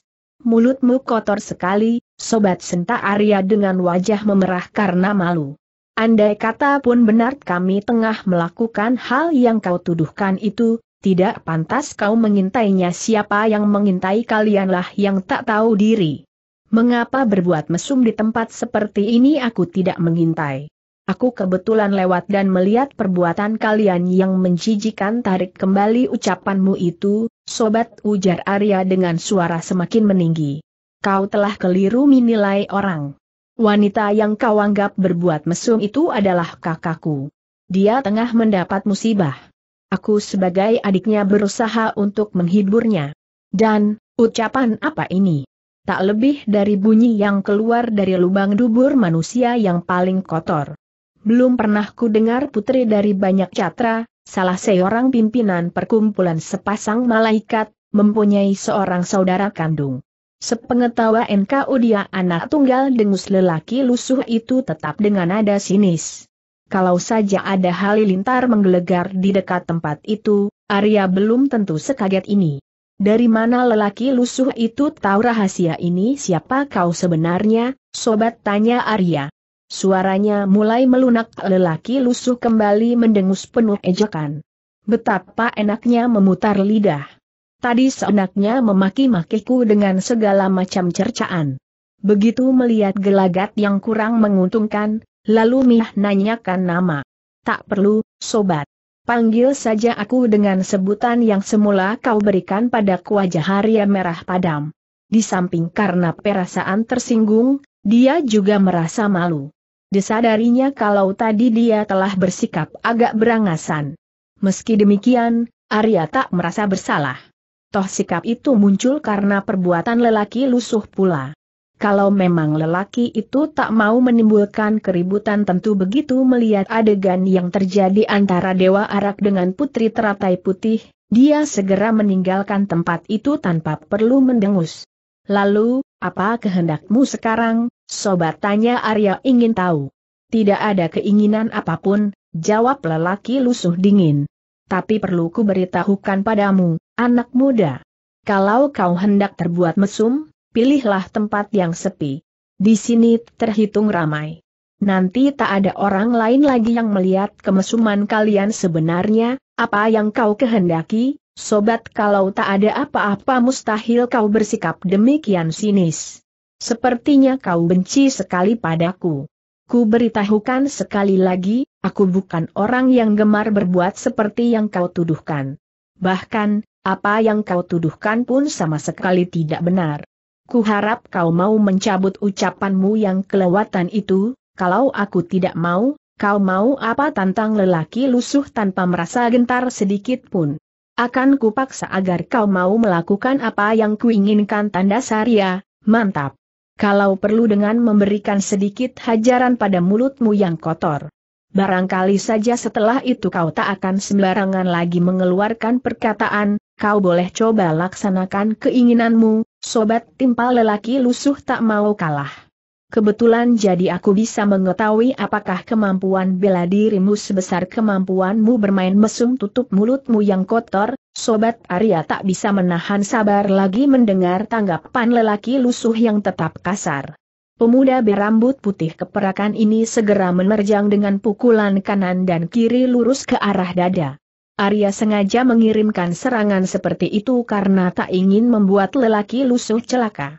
Biar bagaimanapun juga lelaki ini bukan orang jahat. Maka serangan yang dilakukan Dewa Arak menggunakan gerakan yang sederhana dan tenaga dalam yang sekadarnya saja. Lelaki lusuh mendengus. Dia tidak mengelak serangan yang dikirimkan Arya. Pemuda berambut putih keperakan ini menjadi kaget dan mengurangi lagi tenaganya agar lawan tidak terluka berat. Buk, buk, buk. Benturan yang terjadi antara dada lelaki lusuh dengan kepalan-kepalan Arya membuat pemuda berambut putih keperakan itu menyeringai. Jari-jari tangannya bagai menumbuk besi baja, bukan tubuh manusia yang terdiri dari daging dan tulang. Mengapa kasungkan-sungkan, sobat tadi kulihat di waktu berbuat mesum kau tak ragu-ragu. Bahkan, segenap kemampuan yang kau miliki dikeluarkan semuanya. Apakah tenagamu telah habis untuk bermesum ria sembur lelaki lusuh, tak pernah kehilangan ejekan yang berpokok pangkal dari persoalan itu. Kalau itu yang kau inginkan ku penuhi sobat desis Arya sambil menggertakkan gigi. Pemuda itu geram bukan main melihat lelaki lusuh semakin keterlaluan dengan ejekannya. Rupanya sikap welas asih Arya dijadikan bahan untuk membuat ejekan. Dewa Arak segera melompat menerjang lawannya. Kali ini pemuda berambut putih keperakan itu mengeluarkan seluruh kemampuan yang dimiliki. Bukan hanya karena ucapan dan sikap lelaki lusuh yang melampaui batas, tapi juga karena telah mengetahui kalau lawannya itu memiliki kepandaian tinggi. Dewa Arak mengirimkan tendangan terbang. Kaki kanannya meluncur ke arah leher. Sementara kaki kirinya yang tertekuk, kendati terlihat tenang, menyembunyikan bahaya yang tak kalah besar. Kaki kiri itu bisa menyusul kaki yang kanan dan mengancam keselamatan lawan. Serangan Dewa Arak kali ini berlipat kali lebih dahsyat dari sebelumnya. Tapi, lelaki lusuh tetap terlihat tenang. Tak kelihatan kalau dia merasa gelisah. Malah lelaki itu berdiri di tempatnya. Tap, krek, Tangkisan sekaligus tangkapan tangan lelaki lusuh membuat Dewa Arak terkejut bukan main. Kakinya dirasakan tergetar hebat. Tapi, hal itu belum terlalu mengejutkan. Yang membuat jantung pemuda berpakaian ungu ini bagai terhenti berdetak adalah keberhasilan tangan lelaki lusuh menangkap pergelangan kakinya meskipun demikian, Dewa Arak mampu bertindak cepat. Maka ketika kaki kanannya ditangkap, Kaki kirinya segera disarangkan ke arah dada lelaki lusuh untuk memaksa dia melepaskan cekalannya. Lelaki lusuh itu mengetahui akan adanya ancaman besar. Disadarinya tendangan lawan mampu membuat batu karang yang paling keras sekalipun hancur berantakan. Maka cekalannya dilepaskan, dan bersamaan dengan itu dia melompat jauh ke belakang. Kau hebat, anak muda, untuk pertama kalinya lelaki lusuh memuji. Tapi, kehebatanmu ini belum sehebat ilmu mesumu mungkin yang kali ini akan lebih hebat dari gencarnya mulutmu mengeluarkan ucapan kotor sahut Arya cepat Arya yang semakin menjadi-jadi kemarahannya mendengar makian lelaki lusu lalu secepat kilat minerjang. Kedua tangannya didorongkan dengan jari-jari tangan terkembang. Pemuda berambut putih keperakan ini dalam cekaman rasa marah yang sangat setelah mengerahkan tenaga dalam inti matahari yang menjadi andalannya. Angin yang luar biasa panas berhembus dari kedua tangan Arya yang didorongkan. Seketika semak-semak yang berada di sekitar tempat itu layu. Beberapa di antaranya langsung rontok ke tanah dalam keadaan gosong. Sebuah ilmu pukulan yang hebat lelaki lusuh berseru memuji. Kedua tangannya dikembangkan membentuk cakar naga lalu ditarik ke depan dada dengan cepat. Dan, perlahan kedua tangan itu dihentakkan ke depan. Tidak terdengar deru angin sedikit pun. Tapi Dewa Arak melihat sekujur tangan, bahkan sebagian besar tubuh lelaki lusuh, diselimuti sinar kuning keemasan. Bunyi meletup pelan terdengar kemudian. Tubuh Dewa Arak dan lelaki lusuh sama-sama terjengkang ke belakang masing-masing merasakan dadanya sesak bukan main. Dan begitu berhasil memperbaiki kedudukan baik Arya maupun lelaki lusuh saling berpandangan dengan sinar mata kagum. Mereka tampaknya kini lebih yakin akan kelihayan lawan yang dihadapinya Dewa Arak mulai menurunkan guci arak dari punggungnya. Pemuda berambut putih keperakan itu mengambil keputusan demikian karena tahu lawan yang akan dihadapinya sangat lihai. Tunggu, Arya Guci yang telah diangkat di atas kepala dan siap untuk dituangkan ke mulut, urung dilakukan Arya. Dengan sinar mata penuh pertanyaan pemuda berambut putih keperakan itu menatap ke arah putri teratai putih yang berlari ke tempatnya dan lelaki lusuh berada. Putri teratai putih menghentikan larinya ketika jarak dengan lelaki lusuh tinggal dua tombak. Pandang wanita ini terpaku pada ke arah punggung lelaki lusuh. Arya jadi heran melihatnya. Apalagi ketika melihat sinar mata putri teratai putih yang demikian penuh dengan berbagai perasaan. Siapa kau sebenarnya, sobat tanya putri teratai putih dengan suara menggigil. Ilmu yang kau gunakan ketika menangkis serangan kawanku mengingatkan aku pada seseorang. Sepengetahuanku hanya dialah yang memiliki ilmu seperti itu, ilmu emas, lelaki lusuh tetap tak bergeming. Tawa ejekan yang didahului dengan dengusan keras segera diperdengarkannya. Hai, anak muda. Jawab yang benar siapa di antara kalian berdua yang berbohong kulihat kau dan wanita itu berbuat mesum. Kau katakan padaku wanita itu adalah kakakmu. Sedangkan wanita itu sendiri memberitahukan kalau kau adalah kawannya. Mana di antara kalian yang benar dia yang benar, sobat, jawab Arya dengan wajah merah. Tapi, aku pun tak salah. Aku memang sahabatnya. Tapi, karena persahabatan terlalu erat lalu kalian buat mesum dengan alasan telah seperti saudara diri. Begitu bukan potong lelaki lusuh. Kamandaka, kau terlalu bentak putri teratai putih, keras melengking. Lelaki lusuh sedikit pun tidak kelihatan terkejut mendengar panggilan itu. Yang kaget justru Arya. Pemuda berambut putih keperakan ini sekarang mengerti mengapa lelaki lusuh ini kelihatan demikian memusingkan perbuatannya dengan putri teratai putih. Pantas. Lelaki ini bukan lain dari pendekar naga emas. Sekarang Arya juga mengerti mengapa lelaki itu memiliki kemampuan demikian dahsyat. Hal itu tidak aneh kalau mengingat lelaki ini adalah pendekar naga emas. Pendekar itu terkenal memiliki kepandaian yang amat tinggi. Siapa yang terlalu, teratai kau atau aku balas lelaki lusuh. Suaranya tidak penuh ejekan dan keseriusan seperti tadi. Suara pendekar naga emas kali ini dikenal baik oleh putri teratai putih sebagai milik pendekar naga emas yang dikenalnya dulu. Tentu saja kau bentak putri teratai putih sambil menudingkan tangan. Pendekar naga emas membalikan tubuh dengan cepat. Kelihatan jelas kalau lelaki ini tak puas dengan jawaban yang diberikan putri teratai putih. Tidak salahkah apa yang kudengar ini, teratai bantah pendekar naga emas tak mau kalah. Kaulah yang keterlaluan. Kau yang kupikirkan bertahun-tahun dengan hati berdarah ternyata sedang enak-enak berbuat mesum, tutup mulutmu, kamandaka jerit putri teratai putih dengan nada suara lebih tinggi. Berkacalah ada dirimu sendiri kau yang kupikirkan siang malam selama 20 tahun lebih dan ku cari-cari tanpa hasil ternyata enak-enakan menikah dengan wanita lain dan mempunyai anak apa kau bilang Kamandaka membentak tak kalah keras. Tapi, kali ini bercampur dengan rasa kaget yang besar. Sepasang mata pendekar ini membela lak lebar. Siapa yang menyebar fitnah keji seperti itu padamu? Teratai pemuda yang menjadi temanmu buat mesum inikah Arya yang sejak tadi mendengarkan pertengkaran antara Kamandaka dengan putri teratai putih sangat kaget mendengar tuduhan itu.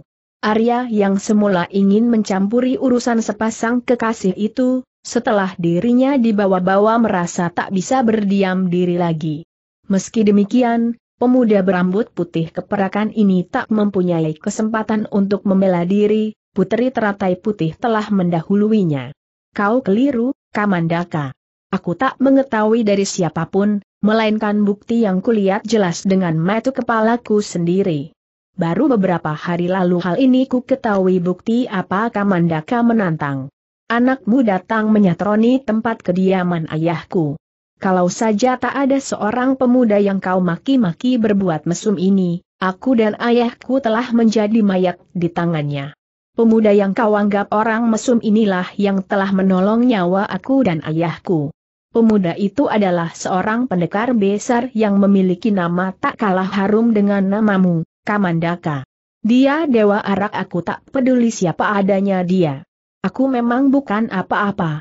Aku hanya seorang gembel hina.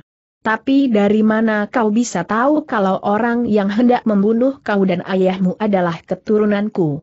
Perlu ku beritahukan, Teratai, tuduhanmu itu sama kali tak benar. Aku tak pernah menikah dengan wanita lain. Apalagi sampai mempunyai anak. Aku tak pernah berhubungan dengan wanita mana pun. Aku malah menyiksa diri setelah pergi jauh darimu. Kau lihat keadaanku tak terurus, bukan itu karena aku selalu tak bisa melupakanmu kau kira aku enak-enak saja, Kamandaka timpal putri teratai putih dengan suara yang mulai melemah. Wanita ini sejak tadi sebenarnya telah melihat perbedaan yang menyolok dalam diri pendekar di hadapannya ini. Pendekar naga emas dulu seorang pemuda tampan dan selalu rapi. Tapi sekarang tak ubahnya gembel. pemuda itu kelihatan kotor dan tak terawat. Tapi, mengapa ada orang yang demikian mirip denganmu bagai pinang di belah dua, semakin melemah suara putri teratai putih. Malah pemuda itu pun mempunyai ilmu yang sama denganmu. Kalau bukan keturunanmu, mengapa dia bisa demikian mirip denganmu lagi pula, dari mana ilmu-ilmu khasmu didapatkannya pendekar naga emas tercenung. Rupanya kata-kata putri teratai putih mulai membuatnya bimbang. Mungkinkah ada orang yang hendak memecah belah kita hendak mengadu domba antara kita, teratai ucap pendekar naga emas setelah berpikir beberapa saat lamanya. Aku pun telah bertemu dengan orang wanita muda yang amat mirip denganmu. Bahkan dia memiliki ilmu-ilmu khas perkumpulan sepasang malaikat. Tapi ketika aku tanyakan mengenai hubungannya denganmu, dia tidak tahu menahu, apakah gadis itu memperkenalkan diri padamu pakaiannya serba merah terkaputeri teratai putih. Kamandaka mengangguk. Putri teratai merah namanya. Nah, Bukankah aneh ada seseorang yang bisa mirip segala-galanya denganmu tapi tak ada hubungan apa pun maksudku hubungan keturunan, siapa bilang tak ada hubungan apa pun, Kamandaka. Gadis itu adalah anakmu. Anak kita tandas putri teratai putih apa pendekar naga emas terjingkat bagai disengat ular berbisa. Kelihatan jelas keterkejutan melandanya. Apakah kamu masih waras, teratai? Anak kita bagaimana mungkin hal itu terjadi kita akan tak pernah. Bagaimana mungkin bisa terjadi seorang anak putri teratai putih menghela napas berat. Hal seperti ini sudah diduga sebelumnya. Oleh karena itulah Kak Kamandaka, sejak 20 tahun lalu aku mencari-carimu. Aku ingin menceritakan semuanya. Aku juga semula tak mengerti. Tapi ketika paman memberitahukannya, juga ayah, Aku mulai mengerti, apa yang mereka katakan sambut pendekar naga emas cepat, penuh rasa ingin tahu. Suasana jadi hening. Putri teratai putih belum memberikan jawaban. Wanita ini tengah mencari kata-kata yang tepat untuk memulai ceritanya. Hahaha tawa keras menggelegar membuat putri teratai putih yang hendak memberikan jawaban jadi urung mengatakannya. Wanita ini menolehkan kepala ke arah asal suara. Hal yang sama dilakukan oleh Dewa Arak dan Pendekar Naga Emas. Seketika jantung mereka berdetak jauh lebih cepat. Di tempat itu telah hadir sosok-sosok yang sangat mengejutkan mereka. Nambi dan Dewa Tapak Darah. Sama sekali tak kusangka kalau di tempat ini akan bisa menemukan orang-orang yang kucari sekaligus. Pendekar pengecut yang dulu berjuluk pendekar naga emas dan putri teratai putih Nambi yang pertama kali membuka suara. Lelaki ini kelihatan gembira bukan main. Tapi kau harus ingat, Nambi. Pendekar naga emas adalah bagianku. Akulah yang akan memenggal kepalanya timpal dewa tapak darah tak mau kalah. Jangan khawatir, tapak darah. Setelah kita menjadi sobat baik, aku tak pelit untuk memberikan kesempatan padamu membalaskan sakit hati. Tapi, kau harus ingat kalau putri teratai putih adalah bagianku tandas Nambi aku tak akan mencampuri urusanmu, Nambi. Yang penting bagiku adalah pendekar naga emas. Dan, setelah itu semuanya tak akan kupikirkan lagi hahaha tawa Nambi terdengar semakin keras membahana delapan bukankah itu si keparat Nambi, kak, ujar putri teratai putih setelah memperhatikan bekas panglima kerajaan itu beberapa saat lamanya. Benar, Teratai, pendekar naga emas mengangguk.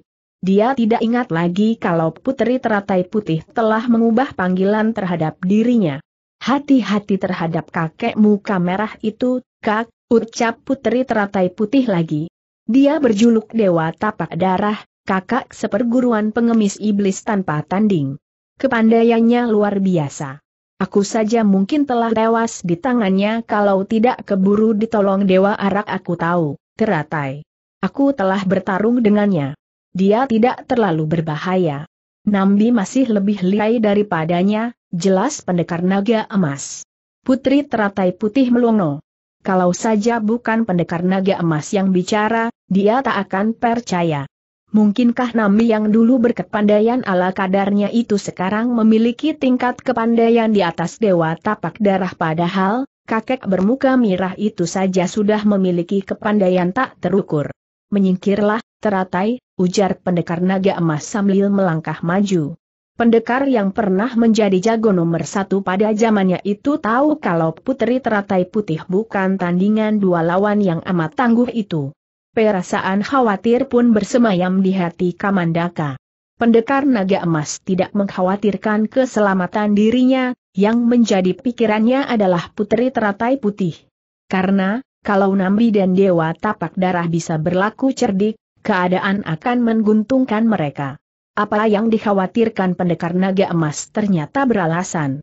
Nambi dan Dewa Tapak Darah telah cepat membaca kedudukan pendekar naga emas dan putri teratai putih. Kau tangkap putri teratai putih, tapak darah, beritahu Nambi sementara aku yang akan mengurus pendekar pengecut ini. Tapi ingat, jangan buat putri itu terluka berat. Aku masih membutuhkannya. Setelah kau lumpuhkan dia, kau masih mempunyai kesempatan membantuku menghadapi pendekar naga emas, aku pun berpikir demikian, Nambi. Sebuah usul yang bagus sekali sambut Dewa Tapak Darah. Pendekar naga emas menggertakkan gigi. Di dalam hati dia memaki-maki kelicikan kedua lawannya. Tapi menyadari waktu yang amat sempit, lelaki ini segera mendahului menyerang. Pendekar naga emas yang telah tahu kalau lawan yang lebih ringan adalah Dewa Tapak Darah, segera menyerang kakek itu. Tak tanggung-tanggung lagi, ilmu tangan sakti pedang dan golok yang menjadi andalannya dipergunakan bunyi berdesing tajam seakan-akan ada beberapa pedang dan golok berkelebatan mencari mangsa terdengar ketika pendekar naga emas melancarkan serangan. Sinar kekuningannya menyelimuti sekujur kedua tangan Kamandaka. Dewa tapak darah tidak berani menangkis serangan pendekar naga emas yang berupa tusukan dan bacokan. Dia melompat ke belakang untuk mengelakkannya. Kakek ini tahu betul kedahsyatan serangan itu. Jangankan terkena langsung, angin serangannya saja sudah cukup untuk membuat lawan yang memiliki tenaga dalam kurang kuat putus anggota tubuhnya. Pendekar naga emas tak tinggal diam. Pendekar ini segera memburu untuk melancarkan serangan susulan. Tapi, Nambi bertindak cepat. Lelaki ini melompet menjegal gerakan pendekar naga emas. Plak, plak. Bunyi berdetak keras terdengar ketika dua pasang tangan berbenturan. Nambi berbeda dengan Dewa Tapak Darah. Bekas Panglima Kerajaan ini tak sungkan-sungkan memapaki serangan pendekar naga emas. Tak ada akibat apa pun atas kedua tangannya, kecuali pada lengan-lengan bajunya yang robek memanjang. Nambi memang memiliki tangan sekuat baja. Saat pendekar naga emas terhuyung ke belakang seperti halnya Nambi akibat benturan keras itu, Dewa Tapak Darah melompat melewati kepala Seng pendekar dan menyerang putri teratai putih. Pendekar naga emas tak ingin hal itu terjadi. Kedua cakarnya diayunkan memapaki melesatnya tubuh dewa tapak darah. Tapi, baru setengah jalan langsung diurungkan. Tubuhnya lalu dibanting ke tanah dan digulingkan menjauh karena Nambi telah mengirimkan tendangan bertubi-tubi. Nambi benar-benar memenuhi janjinya untuk membuat Dewa Tapak Darah bisa berurusan dengan Putri Teratai Putih. Bekas Panglima Kerajaan ini meluruk menyerbu pendekar naga emas dan menghujaninya dengan serangan-serangan dahsyat pendekar naga emas tak mempunyai pilihan lain kecuali memberikan perlawanan. Pertarungan yang kedua kali antara kedua musuh bebuyutan itu berlangsung. Keberhasilan Nambi membuat pendekar naga emas kerepotan hingga Dewa Tapak Darah dapat dengan leluasa berurusan dengan putri teratai putih. Seng putrilah yang kewalahan. Dia pontang-panting ke sana kemari untuk menyelamatkan diri. Pertarungan tak seimbang pun terpampang di depan mata, ternyata bukan hanya pendekar naga emas dan putri teratai putih yang terlibat dalam pertarungan. Dewa Arak pun demikian. Malah, pemuda berambut putih keperakan itu menghadapi seorang lawan yang amat tangguh. Lawan Dewa Arak adalah seorang pemuda berpakaian kuning yang bukan lain Reksanata. Pertarungan telah berlangsung sengit. Jarak pertempuran dua orang muda ini dengan pertarungan pendekar naga emas serta putri teratai putih tak lebih dari 15 tombak pertarungan mereka kini sudah mencapai puncaknya, Dewa Arak menggunakan jurus belalang saktinya. Sementara Reksanata telah menggunakan ilmu tangan sakti pedang dan golok serta naga emas. Di luar kancah pertarungan tampak berdiri seorang gadis berpakaian merah yang bukan lain dari Putri Teratai Merah. Wajah gadis ini kelihatan agak pucat terbayang kembali di benak gadis ini kejadian yang dialaminya. Putri Teratai Merah tengah tercenung dengan pikiran kusut setelah pusing memikirkan masalah pendekar naga emas. Kenyataan betapa Kamandaka yang dikaguminya dan diharapkan dapat menjadi kawan tarung melawan pendekar naga emas ternyata si pendekar itu sendiri. Berbagai macam perasaan berkecamuk di benak putri teratai merah. Rasa marah, malu, dan sedih dan merasa dipermainkan. Perasaan-perasaan itu membuat putri teratai merah terguncang batinnya. Selama berhari-hari dia melanjutkan perjalanan dengan benak kusut sesampainya di tempat ini Putri Teratai Merah bertemu dengan Reksanata. Pemuda sombong ini rupanya tertarik melihat gadis cantik duduk termenung seorang diri, Putri Teratai Merah digodanya. Putri Teratai Merah yang memang sedang tidak tenang hati segera menimpalinya dengan marah. Bahkan, pertarungan antara mereka pun terjadi. Tapi, Putri Teratai Merah hanya besar marahnya saja. Kemampuan yang dimilikinya tak sebesar kemarahannya. Dengan mudah Reksanata menangkap setiap serangannya. Serangan-serangan Putri Teratai Merah tanpa menemui kesulitan sama sekali berhasil dilakukan Reksanata. Sebaliknya, setiap serangan sembarangan Reksanata membuat Putri Teratai Merah pontang-panting menyelamatkan diri. Benturan tangan antara mereka membuat tubuh gadis itu terhuyung-huyung dengan tangan sakit. Malah, beberapa kali tubuh putri teratai merah terguling-guling ketika Reksanata mengibaskan tangan. Di saat itulah Dewa Arak muncul. Tanpa pikir panjang lagi pemuda berambut putih keperakan itu segera menerjang Reksanata. Telah diketahuinya kalau Reksanata, meski tak jahat, tapi tidak berdiri di pihak yang benar. Maka, Arya berpihak pada putri teratai merah. Arya menduga gadis itu adalah putri dari putri teratai putih, kendati dia belum pernah melihatnya. Reksanata yang memang mendendam pada Dewa Arak menyambutinya dengan penuh semangat. Pemuda sombong yang telah sembuh dari luka parahnya itu mengerahkan seluruh kemampuannya. Reksanata belum yakin kalau dirinya kalah oleh Dewa Arak. Pertarungan pun berlangsung hebat jalannya pertarungan tidak diam di tempat. Sedikit demi sedikit bergeser ke tempat pendekar naga emas dan putri teratai putih.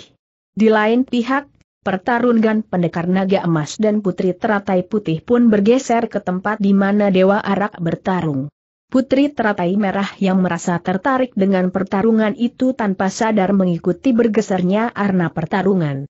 Dan gadis ini terkejut bukan main ketika melihat putri teratai putih tengah didesak hebat oleh dewa tapak darah. Kakek bermuka merah ini memang memiliki watak licik. Kalau dikerahkan seluruh kemampuannya sebenarnya putri teratai putih telah roboh sejak tadi. Tapi bila hal itu terjadi Nambi yang akan beruntung. Bekas Panglima Kerajaan itu akan segera terbantu dalam menghadapi pendekar naga emas. Dewa Tapak Darah sengaja membiarkan Nambi berjuang keras menghadapi pendekar naga emas. Nambi yang cerdik tentu saja tahu hal itu. Tapi dia tidak berkata apa-apa. Di samping karena memang tak sempat, dia juga tak mau. Meski mulutnya diam, tapi hati Nambi mengutuk Dewa Tapak Darah habis-habisan. Bahkan, bekas Panglima Kerajaan ini berjanji akan membalas perbuatan Dewa Tapak Darah. Sementara itu Putri Teratai Merah yang melihat Putri Teratai Putih tengah didesak hebat tanpa banyak pikir lagi segera mencabut pedang pendeknya dan ikut terjun dalam kancah pertarungan. Ikut campurnya Putri Teratai Merah membuat keadaan Putri Teratai Putih tidak terlalu mengkhawatirkan.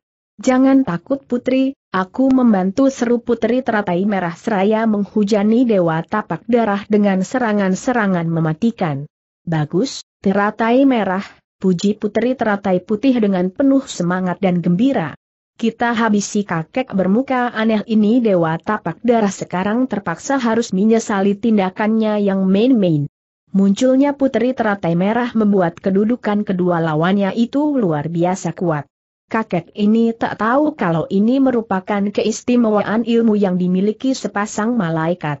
Putri teratai putih mendapatkan ilmu-ilmu yang bersifat lembut. Sedangkan putri teratai merah sebaliknya. Bila hanya dihadapi seorang saja, ilmu-ilmu itu tak terlalu dahsyat. Tapi bila sudah bersatu, menjadi satu kekuatan yang besar. Putri teratai putih dan putri teratai merah mampu bekerja sama dengan baik. Mereka berdua bisa saling melengkapi, saling menutupi kelemahan masing-masing. Sebaliknya, serangan-serangan yang dilancarkan semakin bertambah kedahsyatannya. Dewa tapak darah harus menelan kenyataan pahit kalau dirinya tak mampu berbuat banyak. Serangan-serangannya kandas. Sebaliknya, serangan-serangan balasan lawan membuatnya kelabakan. Tidak hanya Dewa tapak darah, Nambi pun demikian. Setelah bertarung puluhan jurus dia harus mengakui keunggulan pendekar naga emas. Lelaki ini terus terdesak secara hebat hal yang sama pun dialami pula oleh Reksanata. Pemuda sombong ini harus mengakui kenyataan kalau Dewa Arak terlalu tangguh untuknya. Semula, beberapa kali Dewa Arak harus mengeluarkan seruan kaget karena serangan-serangannya menyeleweng sebelum mencapai sasaran. Ada daya tolak yang luar biasa kuat berasal dari sinar kuning keemasan di sekujur tubuh Reksanata. Tapi seiring dengan semakin lemahnya tenaga Karina, terlalu lama bertarung, sinar kuning keemasan yang memancar dari sekujur tubuh Reksanata memudar. Hal itu membuat tenaga tolakannya tidak terasa lagi oleh Dewa Arak. Kelelahan yang dialami Reksanata tidak diderita Dewa Arak. Pemuda berambut putih keperakan masih tetap seperti sedia kala. Serangan-serangan yang dilancarkannya masih mengandung tenaga dalam penuh. Itu karena pengaruh arak yang ditenggaknya dalam pertarungan. Arak yang berasal dari yang tersampir di punggungnya itu mampu membuat tenaga Arya yang susut pulih kembali. Karena itu, menginjak pada jurus ke-75, perlahan-lahan Dewa Arak mulai bisa mengendalikan jalannya pertarungan. Lambat tapi pasti dia mulai berada di atas angin. Dan sekarang Reksanata Cempak lebih banyak mengelak daripada melancarkan serangan. Buk! Reksanata memekik tertahan ketika pukulan tangan kanan Dewa Arak menghantam bahu kanannya. Tubuh Reksanata langsung terhuyung-huyung. Dari mulutnya mengalir darah segar. Pemuda sombong itu agaknya terluka dalam. Jangan bunuh dia titik. Dua buah suara yang dikeluarkan hampir berbarengan membuat Dewa Arak menghentikan gerakannya. Pemuda berambut putih keperakan ini bermaksud ingin melumpuhkan Reksanata agar pemuda sombong itu tidak terus mengajaknya bertarung. Arya mengalihkan pandangan ke arah asal suara. Dilihatnya dua orang kakek, Salah satu di antaranya telah dikenalnya sebagai malaikat merah dan seorang kakek lain berpakaian putih yang diduga Arya sebagai malaikat putih, berdiri tak jauh darinya. Bertepatan dengan munculnya pimpinan perkumpulan sepasang malaikat itu terdengar dua jeritan minyayat hati yang disusul dengan melayangnya dua sosok tubuh. Sosok yang pertama kali menjerit adalah Nambi. Tubuh lelaki ini melayang keras ke belakang karena tendangan pendekar naga emas menghantam dadanya secara telak. Darah menyembur deras dari mulutnya akibat tulang-tulang dadanya yang hancur berantakan. Nyawa bekas panglima kerajaan ini melayang saat itu juga sebelum tubuhnya ambruk ke tanah. Jeritan kedua berasal dari mulut Dewa Tapak Darah. Itu terjadi akibat serangan-serangan Putri Teratai Putih dan Putri Teratai Merah. Pedang putri teratai putih menembus perut hingga ke punggung dewa tapak darah. Sedangkan pedang putri teratai merah mirobek punggungnya mendatar dan lebar. Dewa tapak darah menggelapar meregang maut sebelum akhirnya ambruk ke tanah. Hampir bersamaan putri teratai putih dan putri teratai merah menghela napas lega. Mereka lalu menyarungkan pedangnya kembali ke dalam warangkanya di punggung. Senyum putri teratai merah memudar ketika beradu pandang dengan pendekar naga emas. Pendekar yang dicapnya pengecut itu menyunggingkan senyum. Putri teratai merah malah membuang muka.